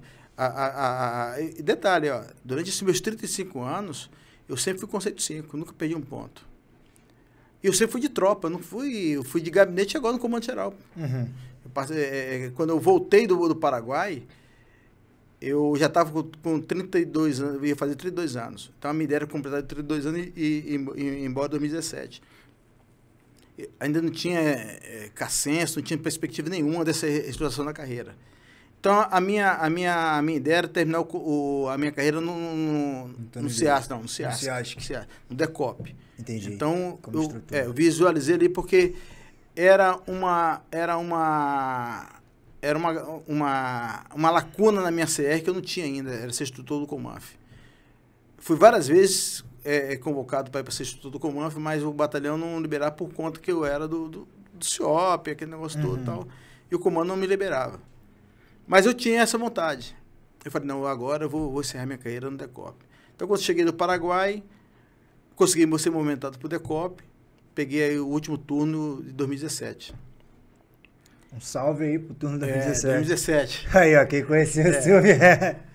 Eu ia assumir, assumir o supervisor, né? E eu estava me preparando para assumir o Comanf, é, sargento do Comanf 2018. Então, essa era a cinemática. Eu ia fechar com 2018 e ia para a reserva 2018. Essa era a cinemática da coisa. Só que rolou processo seletivo para suboficial mor do Comando Geral. Em 2013, para ver como são, como são as coisas, né? 2013 e 14, quando eu estava no projeto piloto, num dos meus relatórios que eu apresentei, eu, eu escrevi que nas minhas nas reuniões, preferencialmente, quem assumia a cadeira com suboficial mor do, do comando geral, preferencialmente deveria ter passado pelo, como suboficial mor de OM. Para dar um assessoramento. Né? Isso. Para dar um assessoramento. E caiu agora como luva, né? Então, quando eu fui selecionado, eu fui para a entrevista lá e concorri com vários suboficiais, ficou na triagem quatro suboficiais, nós fomos para entrevista. E eu fui selecionado por conta disso, por ter sido suboficial maior de um batalhão e já estava já tava com as características de assessoramento muito maior do que os demais, né? Não que os demais não merecessem, uhum. mas estou falando em termos de experiência, né? É, o senhor participou do projeto piloto. Isso. Então, Sem contar a bagagem que o senhor tem durante toda a carreira, não só na área operacional, mas também como instrutor, né? É. Isso tudo agrega valor. Agrega. Então, é, é, é, é isso basicamente foi, foi como, eu, como eu cheguei a, a suboficial mor do Comando Geral. Uhum. E hoje não, hoje a gente conseguiu, é, através do comandante Cartilho e Almirante Leitão, que, que, faz, que são os mentores lá do Poder H, né? Que é uma seção lá do Comando Geral. Ele conseguiu incluir o suboficial MOR dentro de um contexto é, é, é que abrangesse todas as, OMs do Corpo de Fuzileiro. Isso ajudou muitos comandos das OMs, em todos os, os aspectos, entendeu? Então, hoje nós, nós, nós estamos é, no nível de excelência muito bom, uhum. Porque o assessoramento nosso ele é muito importante para o comandante. Hoje em dia, tem comandante que pede o assessoramento do suboficial para qualquer decisão, que ele sabe que a decisão dele vai no, ser acertada. Normalmente, é, é assim que funciona. Agora, Isso. Eu observo na, na minha antiga M, lá na, na base do Remeriti. Era suboficial mó sempre ali, isso, colado isso, no comando. Isso, isso, isso para poder justamente dar um melhor assessoramento. Isso é fruto de um trabalho nosso, uhum. entendeu? Porque eu costumo falar isso pro pessoal, até uma palestra que, que eu dei aí, foi que caso a gente tivesse trabalhado pouco, tivesse subido para a cabeça, hoje a gente teria, tinha perdido todo esses. É, todo, tinha perdido todo esse ganho que tem, nós temos uhum. hoje. Né? Então a gente começou devagar eu até acho que em um determinado momento nós começamos errado. Eu acho que em determinado, determinado momento nós começamos errado. Diferente do Exército. O Exército, ele, ele, o que, que o Exército fez? O Exército escreveu, pegou as informações nossas, escreveu e fez o curso. Para depois é, ativar. Uhum. Nós não, nós ativamos, depois fizemos o curso. Entendi. Entendeu? Então eu acho que a gente atropelou aí. Mas foi, foi, foi um, um atropelo que deu certo. Foi, foi, fez parte do processo. Fez parte do processo, entendeu? Entendi. Sub, a gente já tá, infelizmente, né? Pô, chegamos caraca, ao... já? É, chegamos ao final. E olha, e olha que a gente falou, falou, falou pouco, hein, cara? pois, daria para mais de cinco horas ah, aí de, dá, dá, dá, de podcast. É, pô, esse episódio eu queria fazer diferente. Normalmente, ao término de cada episódio, eu peço para mandar um recado ali para o público em geral. Certo. Mas eu queria que o senhor mandasse um recado especificamente para os praças. Justamente porque o senhor atuou duas vezes na função de suboficial mor, justamente também pela carreira, carreira brilhante, não, né? Não, que carreira brilhante não. Mas o senhor tem uma bagagem muito grande e uma sensibilidade ali com, com os praças em si, com a nossa tropa. E eu queria que o senhor passasse algumas palavras motivacionais os praças que estão nos assistindo, né? Para que eles pudessem trilhar a carreira, não igual a do senhor, mas assim, com, com, mesmo, com a mesma sensação motivacional que o senhor teve desde o início tá. até os dias de hoje. Ok. Vamos lá. É, eu aprendi com, com um professor, amigo meu, professor de, de línguas, se falar que é professor de português, ele pira comigo, né? Professor de línguas. E uma das frases, eu fui dar uma palestra na escola dele uma vez, fui apresentar a Marinha para ele, né, pra, pra, para os alunos dele, e eu vi uma frase escrita por ele, onde ele fala o seguinte: Quem senta para ouvir, levanta para ensinar. Então, isso eu coloquei nos meus slides de, apresentação. Entendeu? Então, hoje nós temos uma carreira de praça que ela é, ela é muito competitiva. Porém, foi uma opção de escolha nossa. Ser praça foi uma opção de escolha nossa. Não adianta a gente achar que o quintal do vizinho é melhor do que a gente. Ah, que o exército é melhor do que a gente, que a marinha é melhor do que a gente. Quem faz o ambiente somos nós. nós a, a carreira é de responsabilidade nossa, ok? Então, eu chamo atenção, eu, tenho, tenho das graduações, duas graduações que eu chamo, que eu, que eu tenho uma particularidade, é, é, que eu até deixei isso para, o, para o, os meus é, antecessores, são, eu até cheguei a, a falar isso lá no Comando Geral. O soldado e o terceiro sargento. São duas graduações que eu chamo a atenção. O soldado, que é aquele garoto, que é aquele guerreiro que está começando a carreira agora, muitas das vezes é um guerreiro que ainda está ainda desorientado, é um guerreiro que tem que se afastar dos falsos amigos, das falsas lideranças. Busque as informações, não encontre dificuldade em todos o, em, em, tudo que encontrar pela frente, porque as, as dificuldades ela, ela apenas engrandece cada vez mais o combatente. Então, é, é, não encontre o primeiro obstáculo, que não pode estudar. Todos nós podemos estudar. Tem condições de estudar? Tem, mas existe sacrifício. Então, soldado, procure a, a, as amizades corretas, procure sair, faça o que tiver que fazer, vá para o seu momento de lazer com seus amigos, mas tenha um foco tenha determinação. Ok? O terceiro sargento, sem desprezar. Então, tentar cabo, comandar aquela pequena fração e não aprendeu no O terceiro sargento é aquele então, guerreiro que acaba de sair do É aquela figura que ele tem que ele tomar passa um posicionamento de responsabilidade, que, ele vai passar a comandar pequenas e frações. Muitas vezes essa ficha não cai. O, o soldado ele tem que olhar para o terceiro sargento e já começar a galgar esse peso, o, o futuro dele. essa imaturidade mais Entendeu? à frente. Então, senhores, for tentar comandar é, aquela pequena um, fração e não aprendeu no beabá. Que todos os obstáculos então, da vida ela tem um propósito. É aquela figura que ele eu tem que tomar um, posicionamento de responsabilidade, um, uma frase ele vai passar a comandar pequenas frações. É, o, sargento, o soldado tem que olhar sem sacrifício, né? já começar a galgar. Tudo na vida para a gente é, é, tem que ter sacrifício. Entendeu? Então, okay? senhores. Então, para aqueles que estão um, querendo estudar, para aqueles que, que acham que a carreira nossa é difícil, tem, um tem que fazer só o básico. Soldados tem que fazer só o básico. Você não precisa ser o, o, o super-homem. Durante toda a minha fase da minha carreira, é, o meu taco sempre foi 100. Né? Eu nunca perdi um ponto. É, é, tem que ter sacrifício. Durante a minha carreira, eu sempre fui conceito Então, para aqueles que estão nunca perdi um ponto. estudar, para aqueles Isso quer dizer que, que eu era melhor que ninguém, não. é difícil, se eu tive no meu taço, eu tinha que fazer 11 barras, eu fazia 11 barras. O, o, e eu ganhava a mesma pontuação de quem fazia 15 barras. Minha carreira, então você tem que treinar para aquilo que você é, é, é, Durante a minha carreira, determinou, eu sempre é, se, se, especializou. Nunca perdi um ponto. Entendeu? Se na tua prova, Isso quer dizer que eu era se no teu TAF, você tiver, se eu tiver no meu TAF, eu tinha que fazer 11 barras, for, for nadar fazer 11 barras. 100 metros, tem eu ganhava a mesma pontuação você treina para nadar 100 metros. Você não pode perder então, ponto. Então você tem que treinar para aquilo A situação do soldado hoje é que cada ponto que ele perde, ele deixa de concorrer com um outro determinou, se especializou.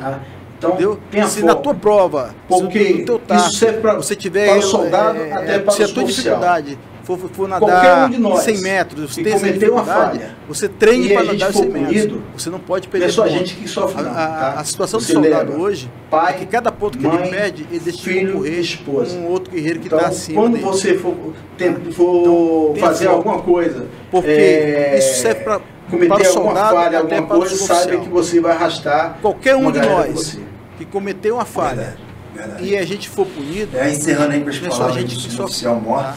Você leva pai, mãe, filho, esposa. Então, quando você for, for fazer alguma coisa, é, cometer alguma falha, alguma coisa, saiba que você vai arrastar uma galera com você. Verdade, verdade. É, encerrando aí com as palavras do suboficial Mor. Suboficial, mais uma vez, obrigado por estar aqui.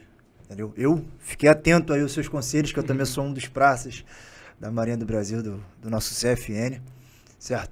Tenho certeza que o pessoal que, que pôde assistir aqui a entrevista do senhor deve ter se motivado muito é, pela personalidade que o senhor tem, uma personalidade forte e que desejo que tenha atingido de maneira positiva aí nossos espectadores, né? A nossa audiência certo?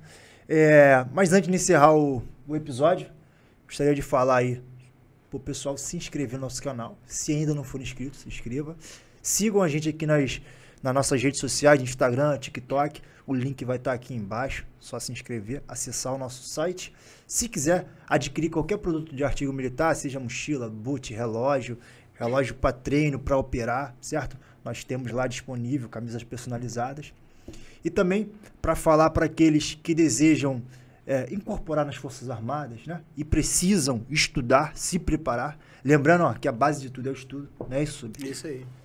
Método QR está disponibilizando um cupom de 5%, nosso cupom aí, Fuzileiro Real. Você que vai prestar concurso para a Marinha do Brasil, Exército Aeronáutico, inclusive para as Forças Auxiliares, o método QR está aí para poder somar com vocês. Lembrando que recentemente abriu aí as inscrições para o curso de soldado fuzileiro naval, certo? E no ano que vem teremos mulheres. Mulheres, mulheres. É. E serão bem-vindas aí ao CFN, mas precisam estudar. Então, estudem, se preparem quanto antes, certo? É, ainda gostaríamos de falar aqui do nosso estúdio, o Estúdio Garcês, que é o estúdio oficial da Fuzileiro Real. Você que quer produzir qualquer tipo de conteúdo de audiovisual, contate o Garcês, ó. O link vai estar aqui embaixo, o contato dele vai estar aqui embaixo. Faça aí o seu orçamento e usem desse estúdio aí para poder produzir os seus vídeos, certo? Para encerrar, Sub, gostaria de falar nosso lema: Fuzileiros Navais, de ontem, hoje e sempre. Ad somos. Ad somos. Obrigado, galera. Foi maneiríssimo.